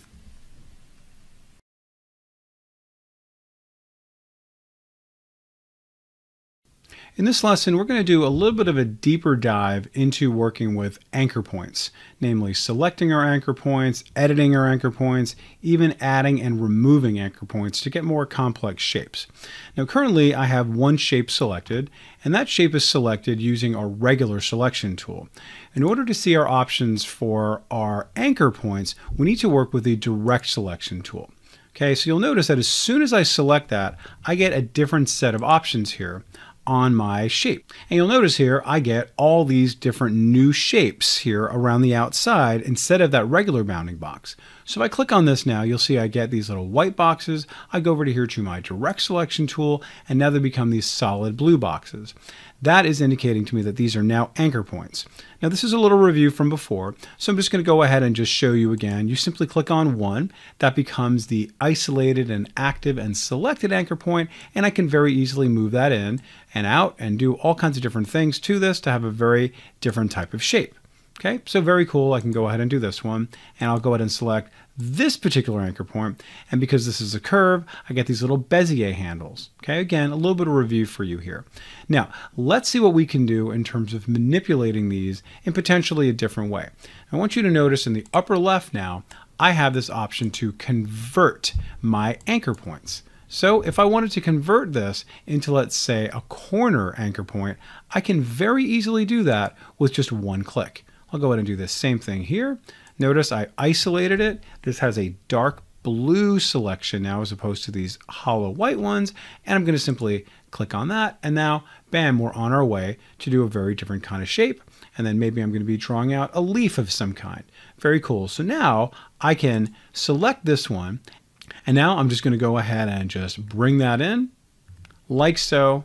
Bring this in like so. And now I'm on my way to creating potentially different object. And it started off as a circle. All right, so on top, I have one anchor point that was converted from a curve into a corner, and the same thing for the top. And then these guys, I just brought them in a little bit. Okay, so very cool, very easy to do. But now let's say I wanted to go a little bit more complex with my drawing. That's when I can then add on anchor points. So how do I do that? Well, if you go over to here to your pen tool and you right click, you're going to see I have all kinds of different options here. Just my regular pen tool. We're going to do a lesson on that in a little bit. And then we have this add anchor point and then delete anchor point. So I'm going to now just go ahead and fly that out. So it's just kind of floating there. Okay, but I want you to also notice that these have some really great keyboard shortcuts like the plus sign and the minus sign. There's no command or control or anything. It's literally just the plus sign and also just the minus sign. See that? I'm just tapping the plus and minus on my keyboard and it just toggles right through it. So what I'm going to do is I'm going to add on an anchor point to this little leaf to maybe have a little bit more kind of texture to this leaf. All right. Now think about anchor points as kind of like joints, right? So if you look at your arm right now, you've got your wrists, you've got your elbow, you look at your leg, you've got your ankles, and you've got your knees, and that allows for a little more sort of like bendability. Okay, your forearm in the middle does not have a joint, so it can't really bend. Okay, so we need to add on more kind of bendability and joints to this shape here. So imagine there's no knee right in this spot here, and I want to add on a knee. Or maybe you want to add on several types of things to kind of create a nice little kind of ripple effect here. We can very easily do that. Okay, so I'm going to zoom in a little bit and you're going to see that when I click here, I get this little plus sign. And now when I click anywhere, you can see right there on the line, I get a new anchor point. I'm just going to go ahead and click here and then I'm going to get another anchor point. I'm going to click here, get an anchor point. Okay, and then maybe I'll even come here and get yet another anchor point. Okay, so you'll see that when I select any of these, you see, I get a little anchor point right there and then another little anchor point right there, etc. Now this is going to allow me to then kind of create a little bit more kind of texture to this. See that? I'm going to go like kind of every other one, you know, kind of playing around with it to then have a little bit more ways of playing around with it, even with my Bezier handles. And then I'm just really creating kind of different texture around it. Now, recall that I could even use my arrow keys on my keyboard to then just kind of nudge it a little bit here and there. Also, recall that I can move around my anchor points if I wanted to, to have maybe a little more texture up there, or bring it down, or even bring it in just like that. Okay, so now I'm starting to get a little more of a kind of a leafy type of structure, right? A little bit more kind of organic. And you might want to play with that on this other side just the same, very easily. I'm just going to tap on the plus sign this time and then just go ahead and click, click, and just kind of go crazy with it, right? Just, it's very organic, very natural. Then I come back to my direct selection tool and then just start kind of moving it around. Get, get some kind of natural wavy stuff happening there. Okay, so this is going to give you a lot of control here. Okay, so again, don't forget that you also have the ability to play around with your Bezier handles to kind of adjust the sort of wavelength of how that's going to be. Cool, I love this. And then maybe this is going to be an ice cream cone. There's all kinds of different things we can do with this. All right, now let's say I added on a little bit too much of an anchor point here. Well, what I can do is very easily come back to my subtract or remove anchor point, and all I do is very simply click on the anchor point, and it's gone. So let me go ahead and kind of just do the reverse now. See that? Very easily, bringing it right back, bringing it right back, and there we are, nice little straight line. So if you decide you want something, bam, apply it, and then if you decide you don't want it, you can very, very easily remove them. Okay, so very, very nice. All right, now if we go over to here to um, this object one more time, we can see that we can very, very easily manipulate any kind of shape that we have here.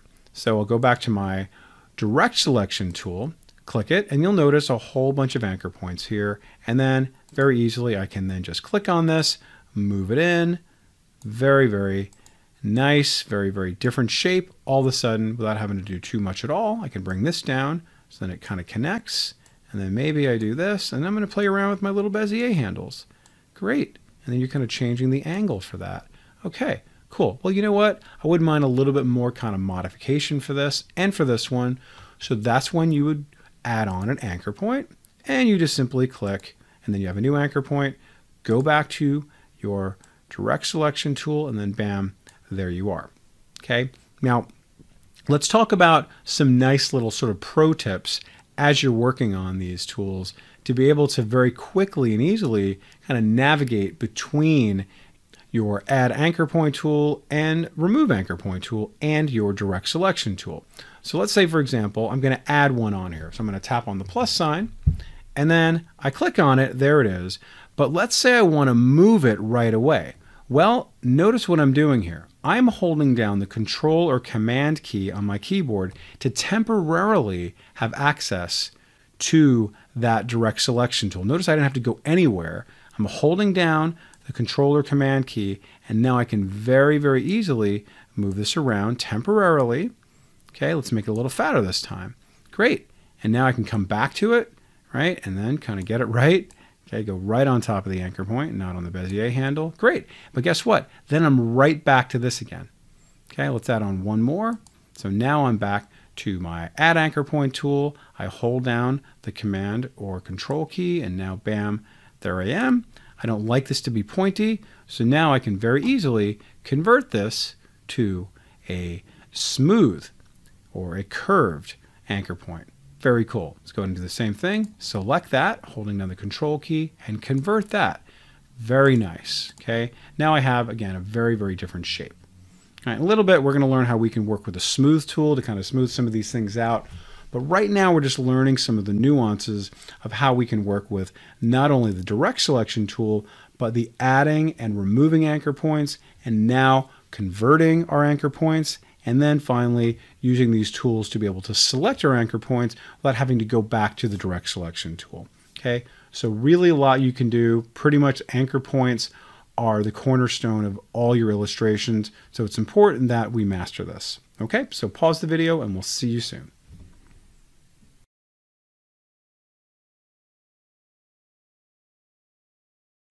In this lesson, we are going to discuss the pen tool.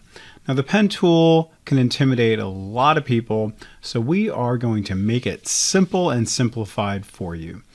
Really the pen tool is very simple when you break it down to its sort of core components of just clicking or clicking and dragging. It's really all you want to think about at this point. Right? We're thinking about that we're just drawing out individual anchor points and initially it's just going to be a bunch of corners. And eventually you may want to manipulate those corners using your direct selection tool, possibly adding on additional corners or anchor points with your add anchor point tool that we learned about in the last lesson. So let's just see what we can do here. We're just going to draw out just some basic shapes and maybe we even create something just using something very simple like our pen tool. So where does the pen tool live? It's going to live right inside here and you can see it has a nice little keyboard shortcut of P and I'm going to simply just choose that. Now we're just going to draw out some very simple lines. I don't really need any kind of fill. So what I'm going to do is just click on my little slash right there. And all I'm going to have now is just a very, very simple stroke. That's going to be one point. So now how do we use the pen tool? Just really think about it like you're just drawing out anchor points, but you're not clicking and dragging, you're just doing anchor points. So all I'm going to do is just simply click once, I have an anchor point, and I'm just moving my mouse here. I'm not clicking and dragging, it looks like I am, but I'm now I'm just going to go ahead and click again. And then watch this. I'm going to go ahead and click again. And now this time, let's kind of have some fun with this. Click, click, click, click, and then go up to here, click, and then, oh, to the peak. Okay, great. Click, click, click, click, and then finally click here. And now watch this. I'm going to hold down the shift key as I move my mouse across this way. Why am I holding down the shift key? Because I want to keep it in a nice straight line until I get to the beginning. And then you'll notice how when I close the loop, I now get this little circle to tell me that I'm now in fact done with that. And now this entire thing is one big object. And I've now just drawn out this little mountain range, right? So very simple. Now, because this is one big object, I can then put in the color of my choice. So I'm going to come back over to here, double click it, and just do some Purple Mountains Majesty, click OK, and now the whole thing is now filled in. Okay, that's great. And you'll notice I do actually still have that stroke around there. I can very easily get rid of that if I want to. I'll come back over to here and I'll just type in zero. And now I have no stroke. But I use that stroke to initially create it very simply with the pen tool. Okay, so very, very cool.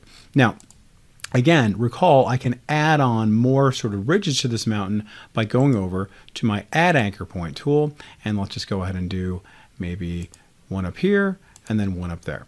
And now I go back to my direct selection tool and I'm just going to go ahead and click and drag down just like that and like that. And now you can see, very cool, I've now just created something kind of interesting. Maybe this is your logo. Maybe it's just going to be just something on a t-shirt, something like that with just some basic lines that we've drawn with our pen tool. Okay? Now, this was relatively simple, relatively straightforward, because with this particular pen tool, I was just using my corners. But if you ever want to work with curves, it's going to be a little bit different. And instead of now clicking and clicking and clicking, I'm going to click and drag. And that's going to create some of those curves that we saw in our previous lesson. And it's also going to give us those Bezier handles that we saw in previous lessons. So what am I going to do now? I'm going to go back to my pen tool and I'm going to just say, listen, I don't need any kind of fill here. So you'll notice how I can come to here and also do my little slash. And I do want to have some kind of color. And just for fun, let's go ahead and just choose this nice little orange color. And now this time, I'm going to click once, just like that. And then when I get to here, watch what I'm going to do. I'm going to click and drag just like that. I'm going to go maybe about halfway just like this. Come over to here and watch this. I'm going to just simply click. And I'm going to come over to here. I'm going to click and drag. I'm going to go about halfway. Bringing it in just like that. Okay, great. I come over to here and I'm just going to simply click. And now notice I'm just coming over here. I'm holding down the shift key to get a straight line just like that. And then I'm just going to go ahead and click again once I see that little circle. and then bam, you'll see I have this nice little shape here. Maybe I'm drawing out two tunnels, right? Something like that, side by side, right? Whatever this, maybe this is going to be an aerial view of somebody looking down, something like that. You're now, or you're just starting this off to be something else, okay? But what did I do here to make this happen? Notice when I clicked and I came up to here, I clicked and dragged. That gave me the curve. Okay, when I came down to here, it was still already curved, but I clicked once to make this part just a hard angle. It's kind of like a little hybrid there. Okay, so this part is curved and this part is not curved, giving birth to something else that is not going to be curved because this is now a corner until I come up to here and click and drag. Now I have the ability to then play around with these Bezier handles to then play around with it a little bit, right? So I'm just going to go ahead and click and drag out just like that. Okay, make that a little bit wider. Come over to here, make this also a little wider. Okay, very cool. All right, let's do the same thing on this side. Do that.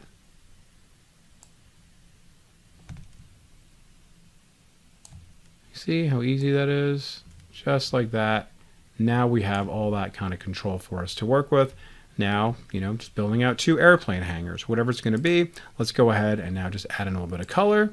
So select your object, going back to my regular selection tool, and then let's go ahead and maybe just for fun to get a little bit of a taste what we're going to do in the future, maybe you want to try out some of these little gradients, right, to get a little bit of a different feel, like something like that.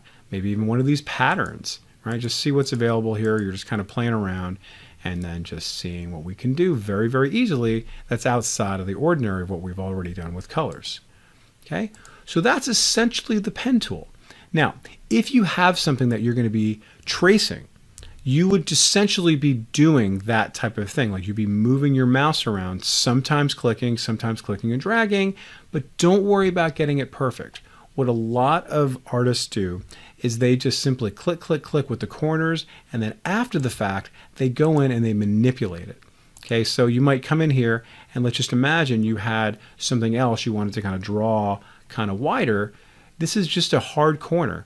Very easily, you could then convert this into something else, come over to here, make that a little bit wider, and now you're curving alongside of just like whatever it's going to be, right? It's going to be like an opera house, something like that. But it started off as just a very, very simple corner. So that's what I want to at least have like the, the gist of this lesson is to not be intimidated by the pen tool and don't worry about getting it perfect because most people when you're drawing you just have very very simple corners and then that's kind of your skeleton and then after the fact you can either convert the style of the anchor point, meaning it's going to be a corner to a curve or vice versa. And then, of course, we can come in with our add anchor point tool and add on more stuff and just have a little bit more you know flexibility a little more nuance and then just kind of continue on from there to have a very different shape entirely Okay, so just playing around with all those individual anchor points, do what you want to do, but you might have something underneath there that you are tracing and you can very, very easily go from there. But do not be intimidated by the pen tool. Seems a little bit difficult at first, but try those basics and then eventually all the other more complex shapes you want to create will then come naturally. All right, pause the video, practice this, and I can assure you, you'll do great after a few tries.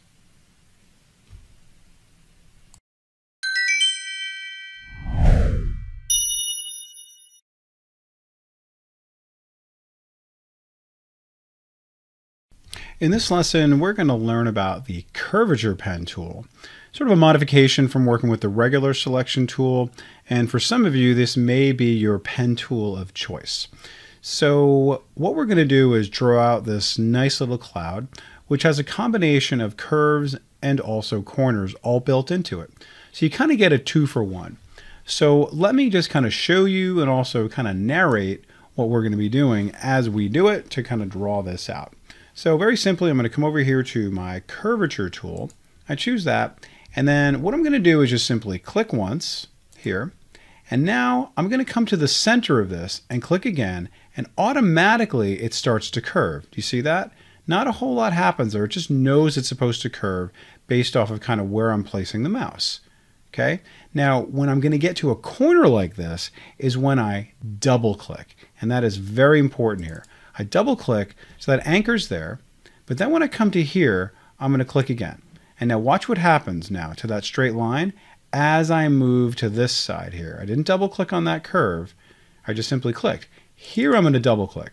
So every time you're kind of at like a little corner there, right, when it kind of couches in, then you double click. Here, regular click. And it looks like it's going to go straight until I move my mouse and I double click, come over to here, single click. But wait, what happens when I move this? I'm going to come over, notice how it's curving, right? And I'm going to double click again because I want this to be a straight line. Come over to here, right? And I'm going to double click again. And now come over to here, single click. See this? And now watch this. I come over to here, and this is the end. So as I double click, and now that completes it. Okay, so it's essentially, is it a curve? Just simply do a click, move your mouse, it's going to create the curve for you. But when you're ready to sort of like mount it or root it down into a corner, then you double click. All right, so now let's go ahead and see what we can do with this guy here. Let's just maybe choose kind of like fun little cloud, just like that. That's great. Okay, and I'm going to remove my strokes, bring that down to zero this time, and you can see now you've got kind of a cool little logo there. Okay, or maybe this is for iCloud or anything like that. You can see this is just a perfect, nice little cloud. We're going to learn about gradients in a little bit. Maybe you want to change the color of it, but notice how easy it was to draw out something pretty complex and nice looking and very compelling with just one tool. And really, that should take you about a minute. All right, so, but practice that because there is some nuance to it, clicking or double clicking. But the more you do it, the more you will intuitively get it. Okay, so we'll see you in the next lesson. Thank you.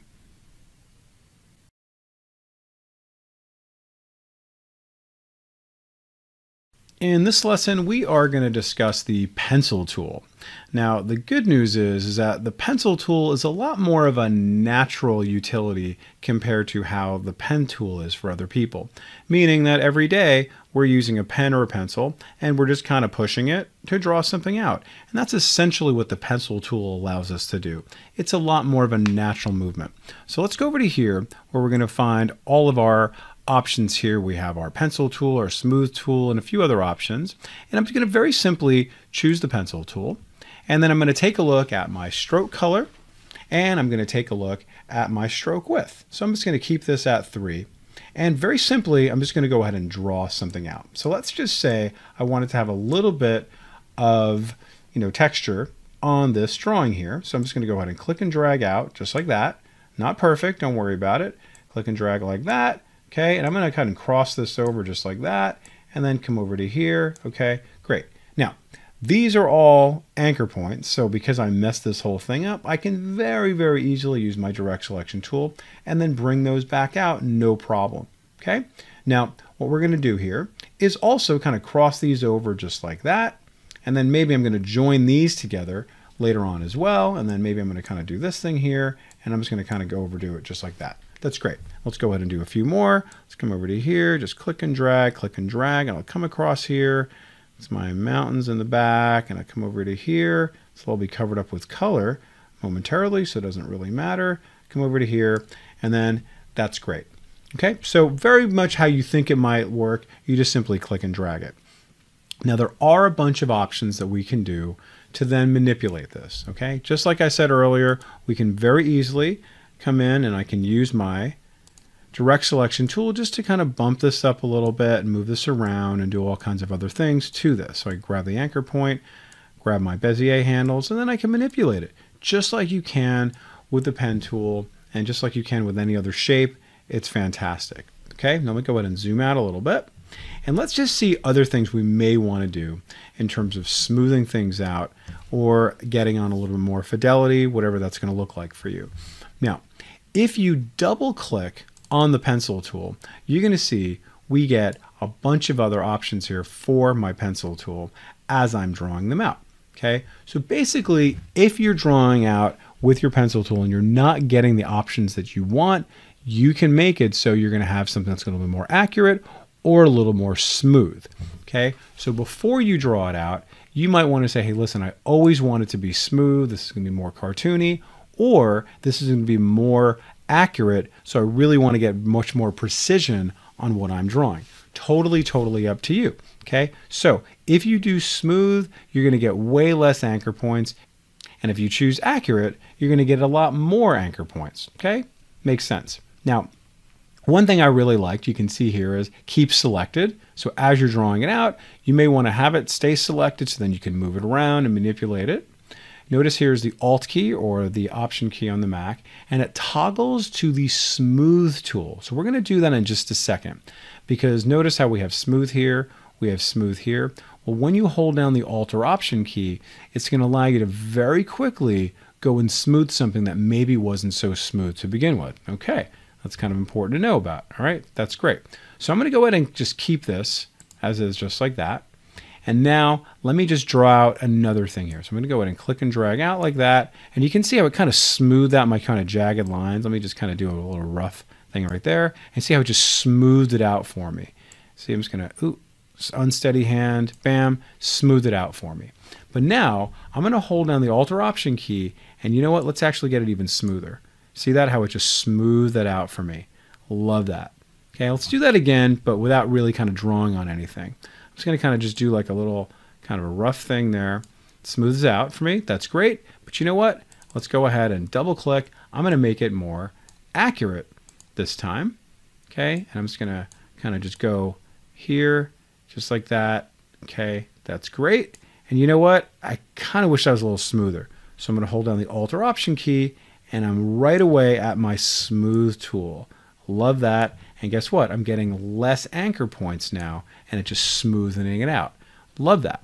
Now, if you wanted to use the smooth tool, you can very easily just go to the smooth tool itself and it essentially does the same thing. All right, just what we just did there. I recommend using that modifier to hold down the Alt or Option key and then smoothing it out as you do it on the fly. But if you decide to do it later on, just know that the smooth tool is there available for you anytime you want. Okay, that's great. Now, Let's take a look at this option here. Really, one of my favorite options is this join tool. Okay, so why is this so great and why is it kind of living in the same place as my pencil tool? Well, notice this little cloud here that's kind of drawn in a very sort of rough way. The join tool allows us to sort of correct certain things after we've drawn them out that maybe we kind of overdid a little bit. So let me go ahead and zoom in a little bit. And now I'm going to come over to here to my join tool and watch what I'm going to do. Very simply, notice it's not even selected. I'm just going to kind of touch these. And now you see, bam, I've done that. That's great. Come over to here. Love it. Okay, come over to there. That's fantastic. Come over to there and boom, beautiful. Okay, and now I can select this, do whatever I want to do to this, add in a little bit of color. Okay, let's go ahead and add in that color. That's fantastic. I can then, if I wanted to, smooth this out a little bit more. I can even remove my stroke entirely if I want to, right? Just like that. Now it's just kind of a nice little floating cloud. Let's see what that looks like. Cool. And now I'm on my way to creating something. Okay, and it started off a little bit more rough, but using this fantastic tool, the join tool, I was able to get rid of some of those extra lines and now it's a lot smoother. Okay, so there's really a lot you can do with combining a lot of these tools together, meaning the pencil tool, the smooth tool, and now finally this amazing tool, the join tool, right? For getting rid of some of those extra overlapping drawing points that you may have done with your pencil. So you don't have to worry about overdoing it. You don't have to worry about getting perfection, right? You can really just adjust it after the fact. Okay? So practice this, have fun, and we'll see you in the next lesson, everyone.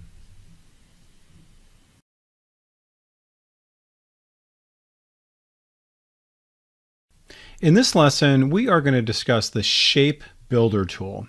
Now, the Shape Builder tool allows us to create complex shapes while combining several different simple shapes to make other types of shapes. Now you'll see here in front of me, I have a bunch of circles and some rectangles and some diamonds and such. And I'd like to make more complex shapes out of these. Now you're going to see here on the left hand side, I have my shape builder tool right there. Okay, you see the little circles. If it's not showing there, you can always right click in this area and you'll see here I might have my live paint bucket, etc. But we're going to be working off of this one right here in just a little bit. That's where you can find it. Now, what I'm going to do is I'm going to show you how to use the shape builder tool initially and you're going to see there's some nuance because sometimes you want to create a new shape by combining shapes and then other times you want to create a new shape by taking away another part of the shape. Okay, so let's just see what we can do here. So let's just go ahead and first of all select, let's just say these, let's just say these two. Okay, so I'm going to go ahead and select that and that shape right there. They're both selected. And now what I'm going to do is I'm going to go over to here to my shape builder tool and just very simply click and drag. And now you'll see that this has now become one shape. It's kind of eaten away at that stroke and then gone through this stroke and then bam, I'm good. Let's go ahead and do the same thing with this one and go ahead and select that other shape. And once again, I'm going to go over here to my shape builder tool and just very simply click and drag. So you'll notice here, as I'm doing it this time, I get a little plus sign and I get these little kind of mesh marks to tell me that is about to be blended together with this guy. And you can see here, that's now blended together. And now you can see beautifully, I've got that going on. Okay, love that. Let's go ahead and see what we can do in a slightly different way for my shape builder. Now I'm going to make this into a little wrench on this side. I'm going to now go ahead and now click on this, drag it up here, and you can go as far as you want with it, but making sure that both of them are selected, and you might want to make sure you center things and all that good stuff there.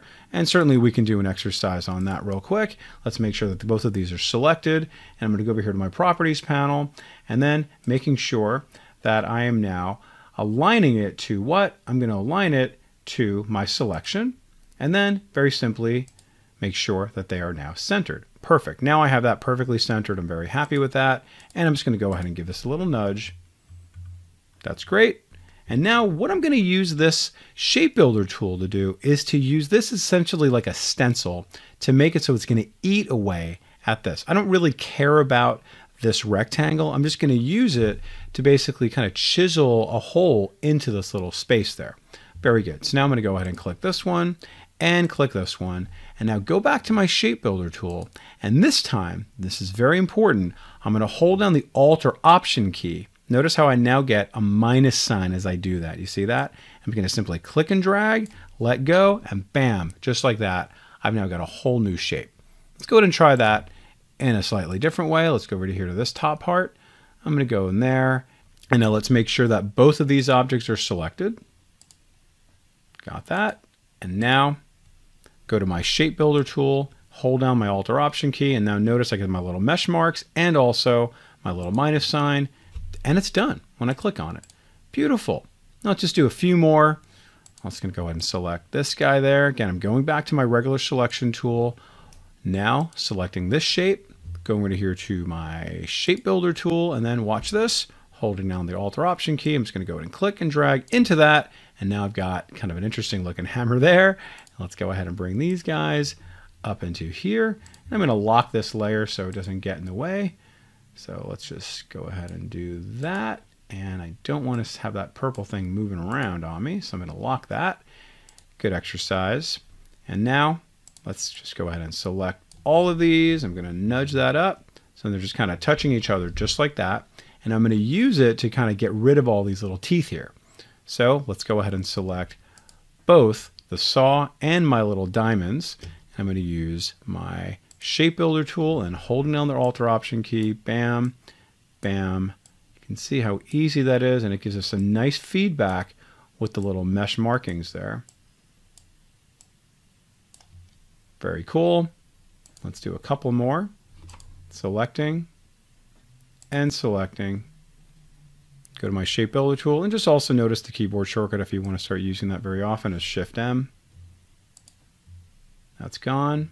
And that one's not selected. See that? So it probably won't work. See that? So it's very important that you get close in when you have kind of more sort of, you know, advanced or more sort of, you know, uh, sophisticated types of shapes that might require some zooming in and you might want to come in a little bit more here. So then I would just want to choose this guy here and this, and then go back to my shape builder tool and just say, you know, thanks, I don't need you anymore. Cool. Now I got a nice little handle. Let's zoom out. And that is beautiful. Love that. So you can see how this can be used for so many different things. Okay. So as you start to kind of build things out, you start to use your imagination, you start to use different little pieces of the puzzle to then start to kind of stencil your way through one object to create a different type of object. So this is really good for kind of creating kind of clean lines. You see characters might do this. You might have a shadow on top of somebody's face, or you might have maybe just sort of a lip on top of a plant pot, something like that. Just use the shape builder tool to kind of a nice clean line that conforms to the edge or the inside of another object. All right, practice this and we'll see you in the next lesson.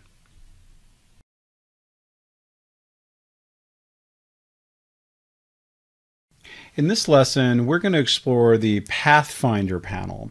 In the Pathfinder panel, you're going to find a whole bunch of different shape building tools to be able to create multiple shapes out of combining different shapes together. Now, we're also going to learn about how to create compound shapes. You're going to see what that means in a little bit, but it's very important to understand that when we create a shape, we're not necessarily creating a compound shape that allows us to then manipulate it after it becomes that particular shape. That's known as a compound shape, giving us the ability to then manipulate it after the fact. Well, first of all, how do we get to our Pathfinder options?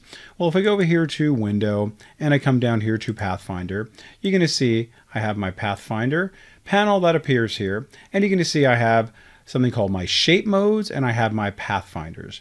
So if you move your mouse over, you can see what they are. And you're going to see that this is called unite, this is called minus front, intersect, and exclude. You'll also see that when you mouse over it, it's going to say if you want to create a compound shape, you should do Alt and click as you're doing that. So I'm going to show you kind of what they do, but I'm also going to show you what the distinction is between doing something that's a not compound shape and a compound shape. So let's just go ahead and just highlight everything here. That's great. And now very simply, I'm just going to unite this. Now, unite does what you expect it to do. It unites the two. And if I undo, you'll see that, well, it shows the color of the top shape on the layers panel. Okay, so that's great. So that's how I was able to do that. So I'll go ahead and do that one more time. And you can see how this is one shape, right? It's now united. So now I'm now creating one shape out of two. I'm gonna go ahead and undo that, undo that again. But this time what I wanna do is I'm gonna hold down the Alt key as I click on this. And you'll see that something else happens now you'll notice that it's still united. It does all the same colors and everything. But now I have the option for now manipulating this shape and this shape in case I change my mind after the fact. So if I double click now, you'll see I'm now able to get into that shape and then maybe I'm going to move it in this way. So it's dynamic, so I can then change it and then move it around here, move it around there, and now experiment with all the different things I might want to do. Okay, that's great. So now I'm making a snowman or making a Russian doll. Okay, that's great. But because I held down the Alt or Option key on my keyboard as I did that, it's now a compound shape. All right, and then you're going to have the ability to do that with all of these shape modes. All right, so I'm going to go ahead. I'm now in this isolation mode, so I'm going to get back out of this, come back out of it. Very good. Now here I am. And now let's go ahead and just see what these guys do. Highlight both of them. I'm going to say minus front. Think about what's happening here. That's in the front. So it's going to subtract it from there. Now I'm creating a different shape. Okay, so if you wanted to create a crescent moon, right, or this is somebody's hat or a helmet or something like that, you can very easily do that just by combining two different shapes. All right, I'm going to undo that. And again, I'm going to hold down the Alt or Option key this time. Now I still have this ready. And then watch this. I can now come into here by double clicking. I'm just going to go ahead and nudge this and I'm going to get a very different shape coming in this way, get a very different shape. But I now have the option to be able to do that after the fact because it's now a compound shape. So very important to understand the distinction and to really understand the benefit of this. All right, let's go ahead and just try a few more. This time I'm going to double click on my canvas and that takes me out of isolation mode. That's maybe a little bit easier. All right, now let's try intersect. All right, so let's go ahead and highlight both of these and choose intersect and right where they intersect you can see how it just creates a shape based off that intersection. Let's go and undo that and then notice what color wins the battle is the one that's on top. And you can guess if I hold down the Alt or Option key, I do that. And now notice I still have these guys and I can go ahead and just double click on that to isolate it. And now I can move it this way, making it smaller, making it bigger. And I have all that control now after the fact because it's a compound shape. Okay, very good. And now exclude, let's see what that does. Highlight that and we're gonna see what exclude does. You can see right from the middle, it's just gonna take that away. Now, let me just tell you right now that I have a nice description of all the things that we can do in both the shape modes and the pathfinders down below here. Now, I may come back to this and refer to them, but just know this is going to be a nice little resource for you in case you forget what it does, but you'll always be able to just test it out and see what they do just by trial and error. Okay, so let's now go ahead and go over to here to this section where we're going to start working with our pathfinders. Okay, so let's just see what this does now. Now the pathfinders don't have the ability to do a compound shape. So pretty much what you see is what you get by the time you're done. So let's go ahead and see what that's going to do. I'm going to highlight all these and you're going to see what this does now. Something kind of deceiving. It actually is dividing this into several different separate objects. You can't really tell that that's happening, but if I click away, come back here, I'm going to go ahead and double click and double click. You'll notice that this is now a shape. This is now a shape. This is now a shape. And continue to double click to kind of get into it. Okay, that's now a shape. So now you can see it's dividing it. Okay, so it's actually done kind of a neat thing. So I'm going to undo a few times and we'll go back to where we were. We're basically just using all the shapes and all the different strokes and everything, the overlap, to then create several different shapes by division. Okay, so kind of cool. It's kind of like a big cookie cutter that goes right into all of them. All right, so pretty cool. Let's go ahead and try trim. See what that does. Come to here. And you're going to see what that does, okay? Now, this might be a good opportunity for us to come down here and let's take a look and see what our description says. So we can see here, this tool cuts away from the parts of the shape that overlap, okay? That you can probably guess that, right? So we come back to here, and you can see trimming does what we expect it to do. Okay, so they overlap.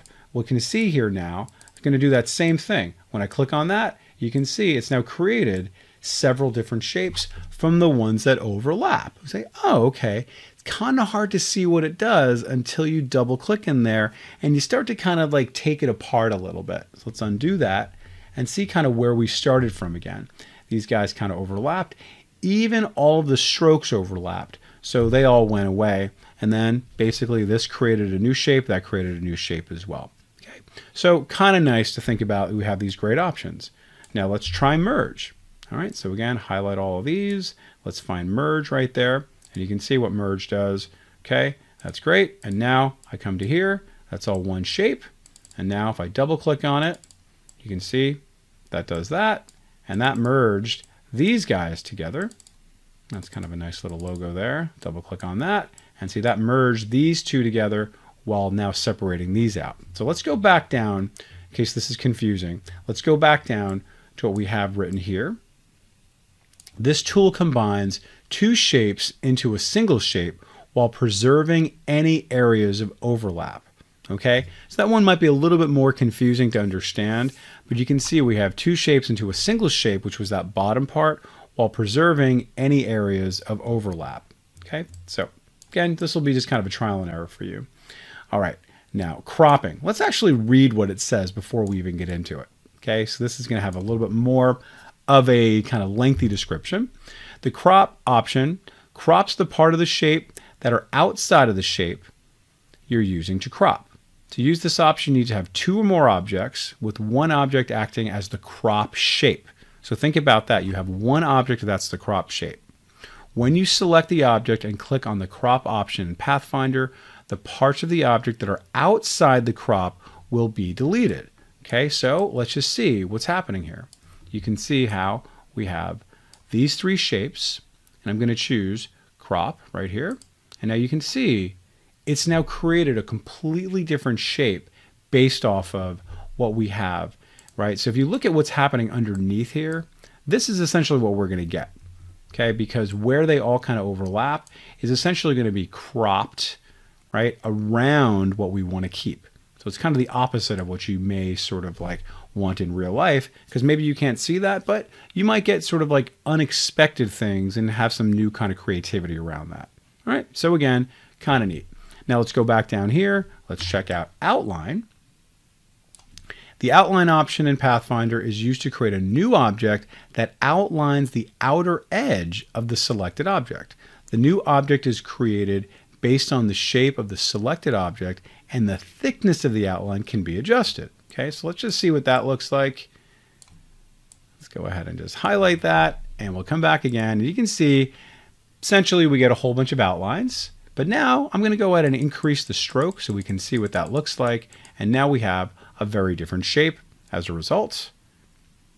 And again, if we come back out of this, we'll see what that originally looked like with those different colors, just like that. Okay, but it's kept those colors, put them as an outline, and now you've essentially got those outlines. In my opinion, probably not as useful as some of the other ones because you might want to just be able to create that yourself. Okay, but again, it's really good for maybe randomizing some of your creativity. And minus back, that's going to pretty much do what you expect it to do. Let's go ahead and choose that. And you'll see it just takes away those two objects that are in the back, keeping the foreground object, maintaining that, but still kind of chiseling away at those. Again, do it one more time. You can see here's my foreground object. These guys are now going to kind of just chiseled away. Even look at the markings around there. You can see my little outlines of the shapes. Do it one more time. Bam, there you go. And now I've got kind of a neat little shape. I wouldn't want to have to draw this out. Maybe I got the beginning of um, umbrella. Okay, kind of cool. And I was able to do that with these three different shapes. So sometimes you got to be a little more mechanical, a little more creative to visualize these. But as you start to do it more and more, you're going to see that you're going to develop a pattern and a strategy. Okay, so practice that. Know that you got all these resources. Take a look at these and eventually become second nature for you. And we will see you in the next lesson.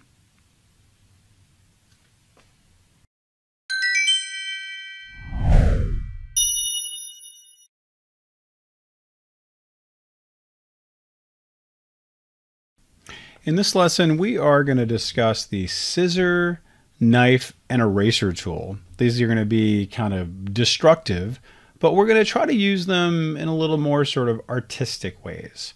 All right, so what we're going to do is very simply, we're going to go over to here to where the tools live, and you're going to see that we have our eraser, our scissors, and our knife tool. And they all do different things, but they're all kind of part of the same category of the different things that they could do, right? So let's just start from the top.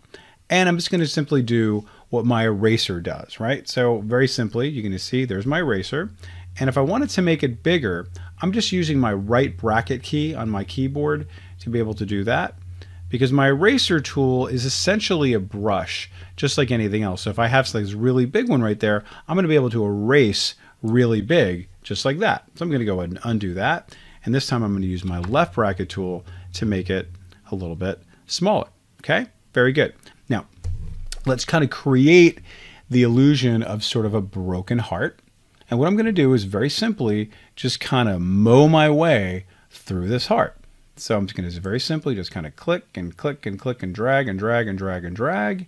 Right, and I come all the way to the end. I let go. And now you can see I've created this nice, cool effect there. Okay, and now these are, in fact, now separate objects. See that? Now I can move it around and do whatever I want with it. Okay, now these started off as just basic shapes, right? This was just a heart, and now I was able to create that really nice easy. Let's go ahead and do that one more time. I'm going to go ahead and just undo that. And this time I'm going to go ahead and make my eraser a little bit bigger. Just going to kind of blast that up just like so. And now let's just go ahead and do it one more time. And now you can see, just like that, got a very different look. All right, awesome. So let's now undo that, and I'm going to come back to where I was before, and let's now explore a different one.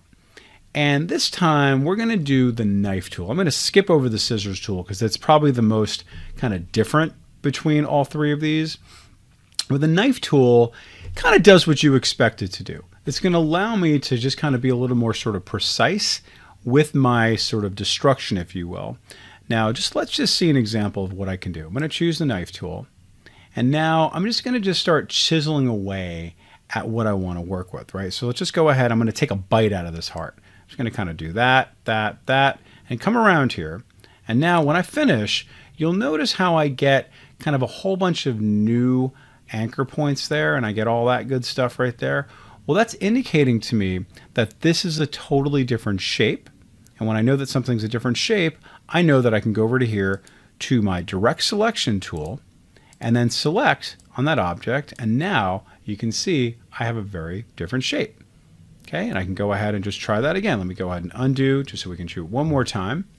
Let's go one more time to our knife tool. Let's try it on this side. I'm just going to do kind of some jagged ones, just like that. Come over to here. Doesn't matter about the outside because I'm not really touching that so much. And now, very cool, I can go ahead and select this, hit the delete key, and now I've got that going on. All right, so very cool, very happy with that. Now, all of these are still editable. They're all still selectable. They're all still, you know, I can manipulate them however I want to.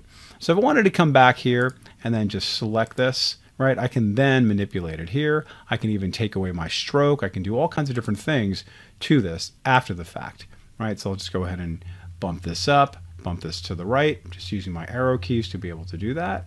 That's nice.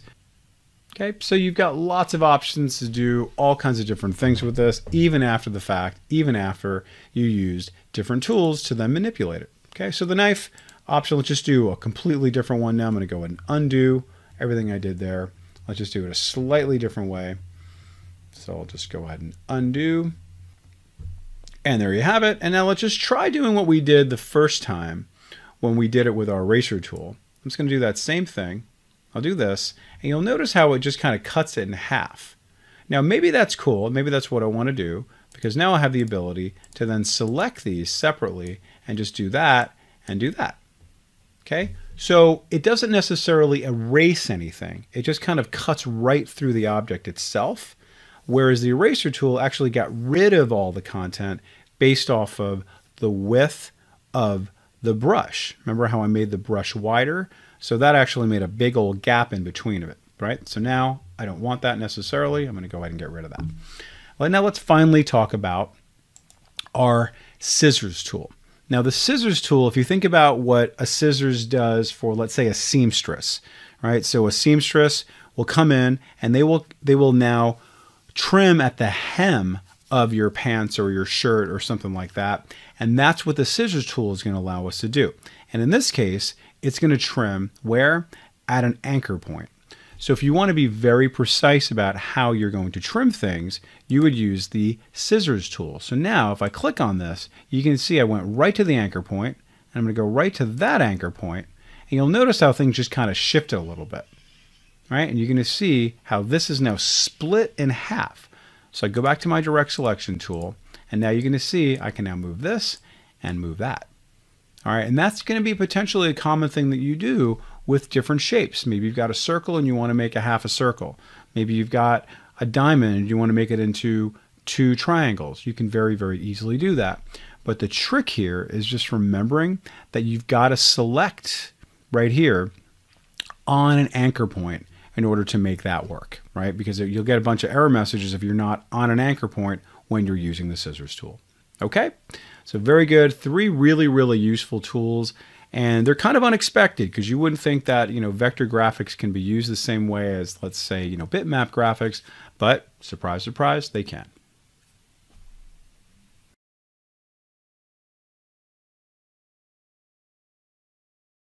Following up from our last exercise, you'll notice that there is a little bit of a problem with my heart, how I left it here. Okay, so you can see how when I cut it, the stroke kind of lost a little bit of a connection to the other side of the heart on both sides there.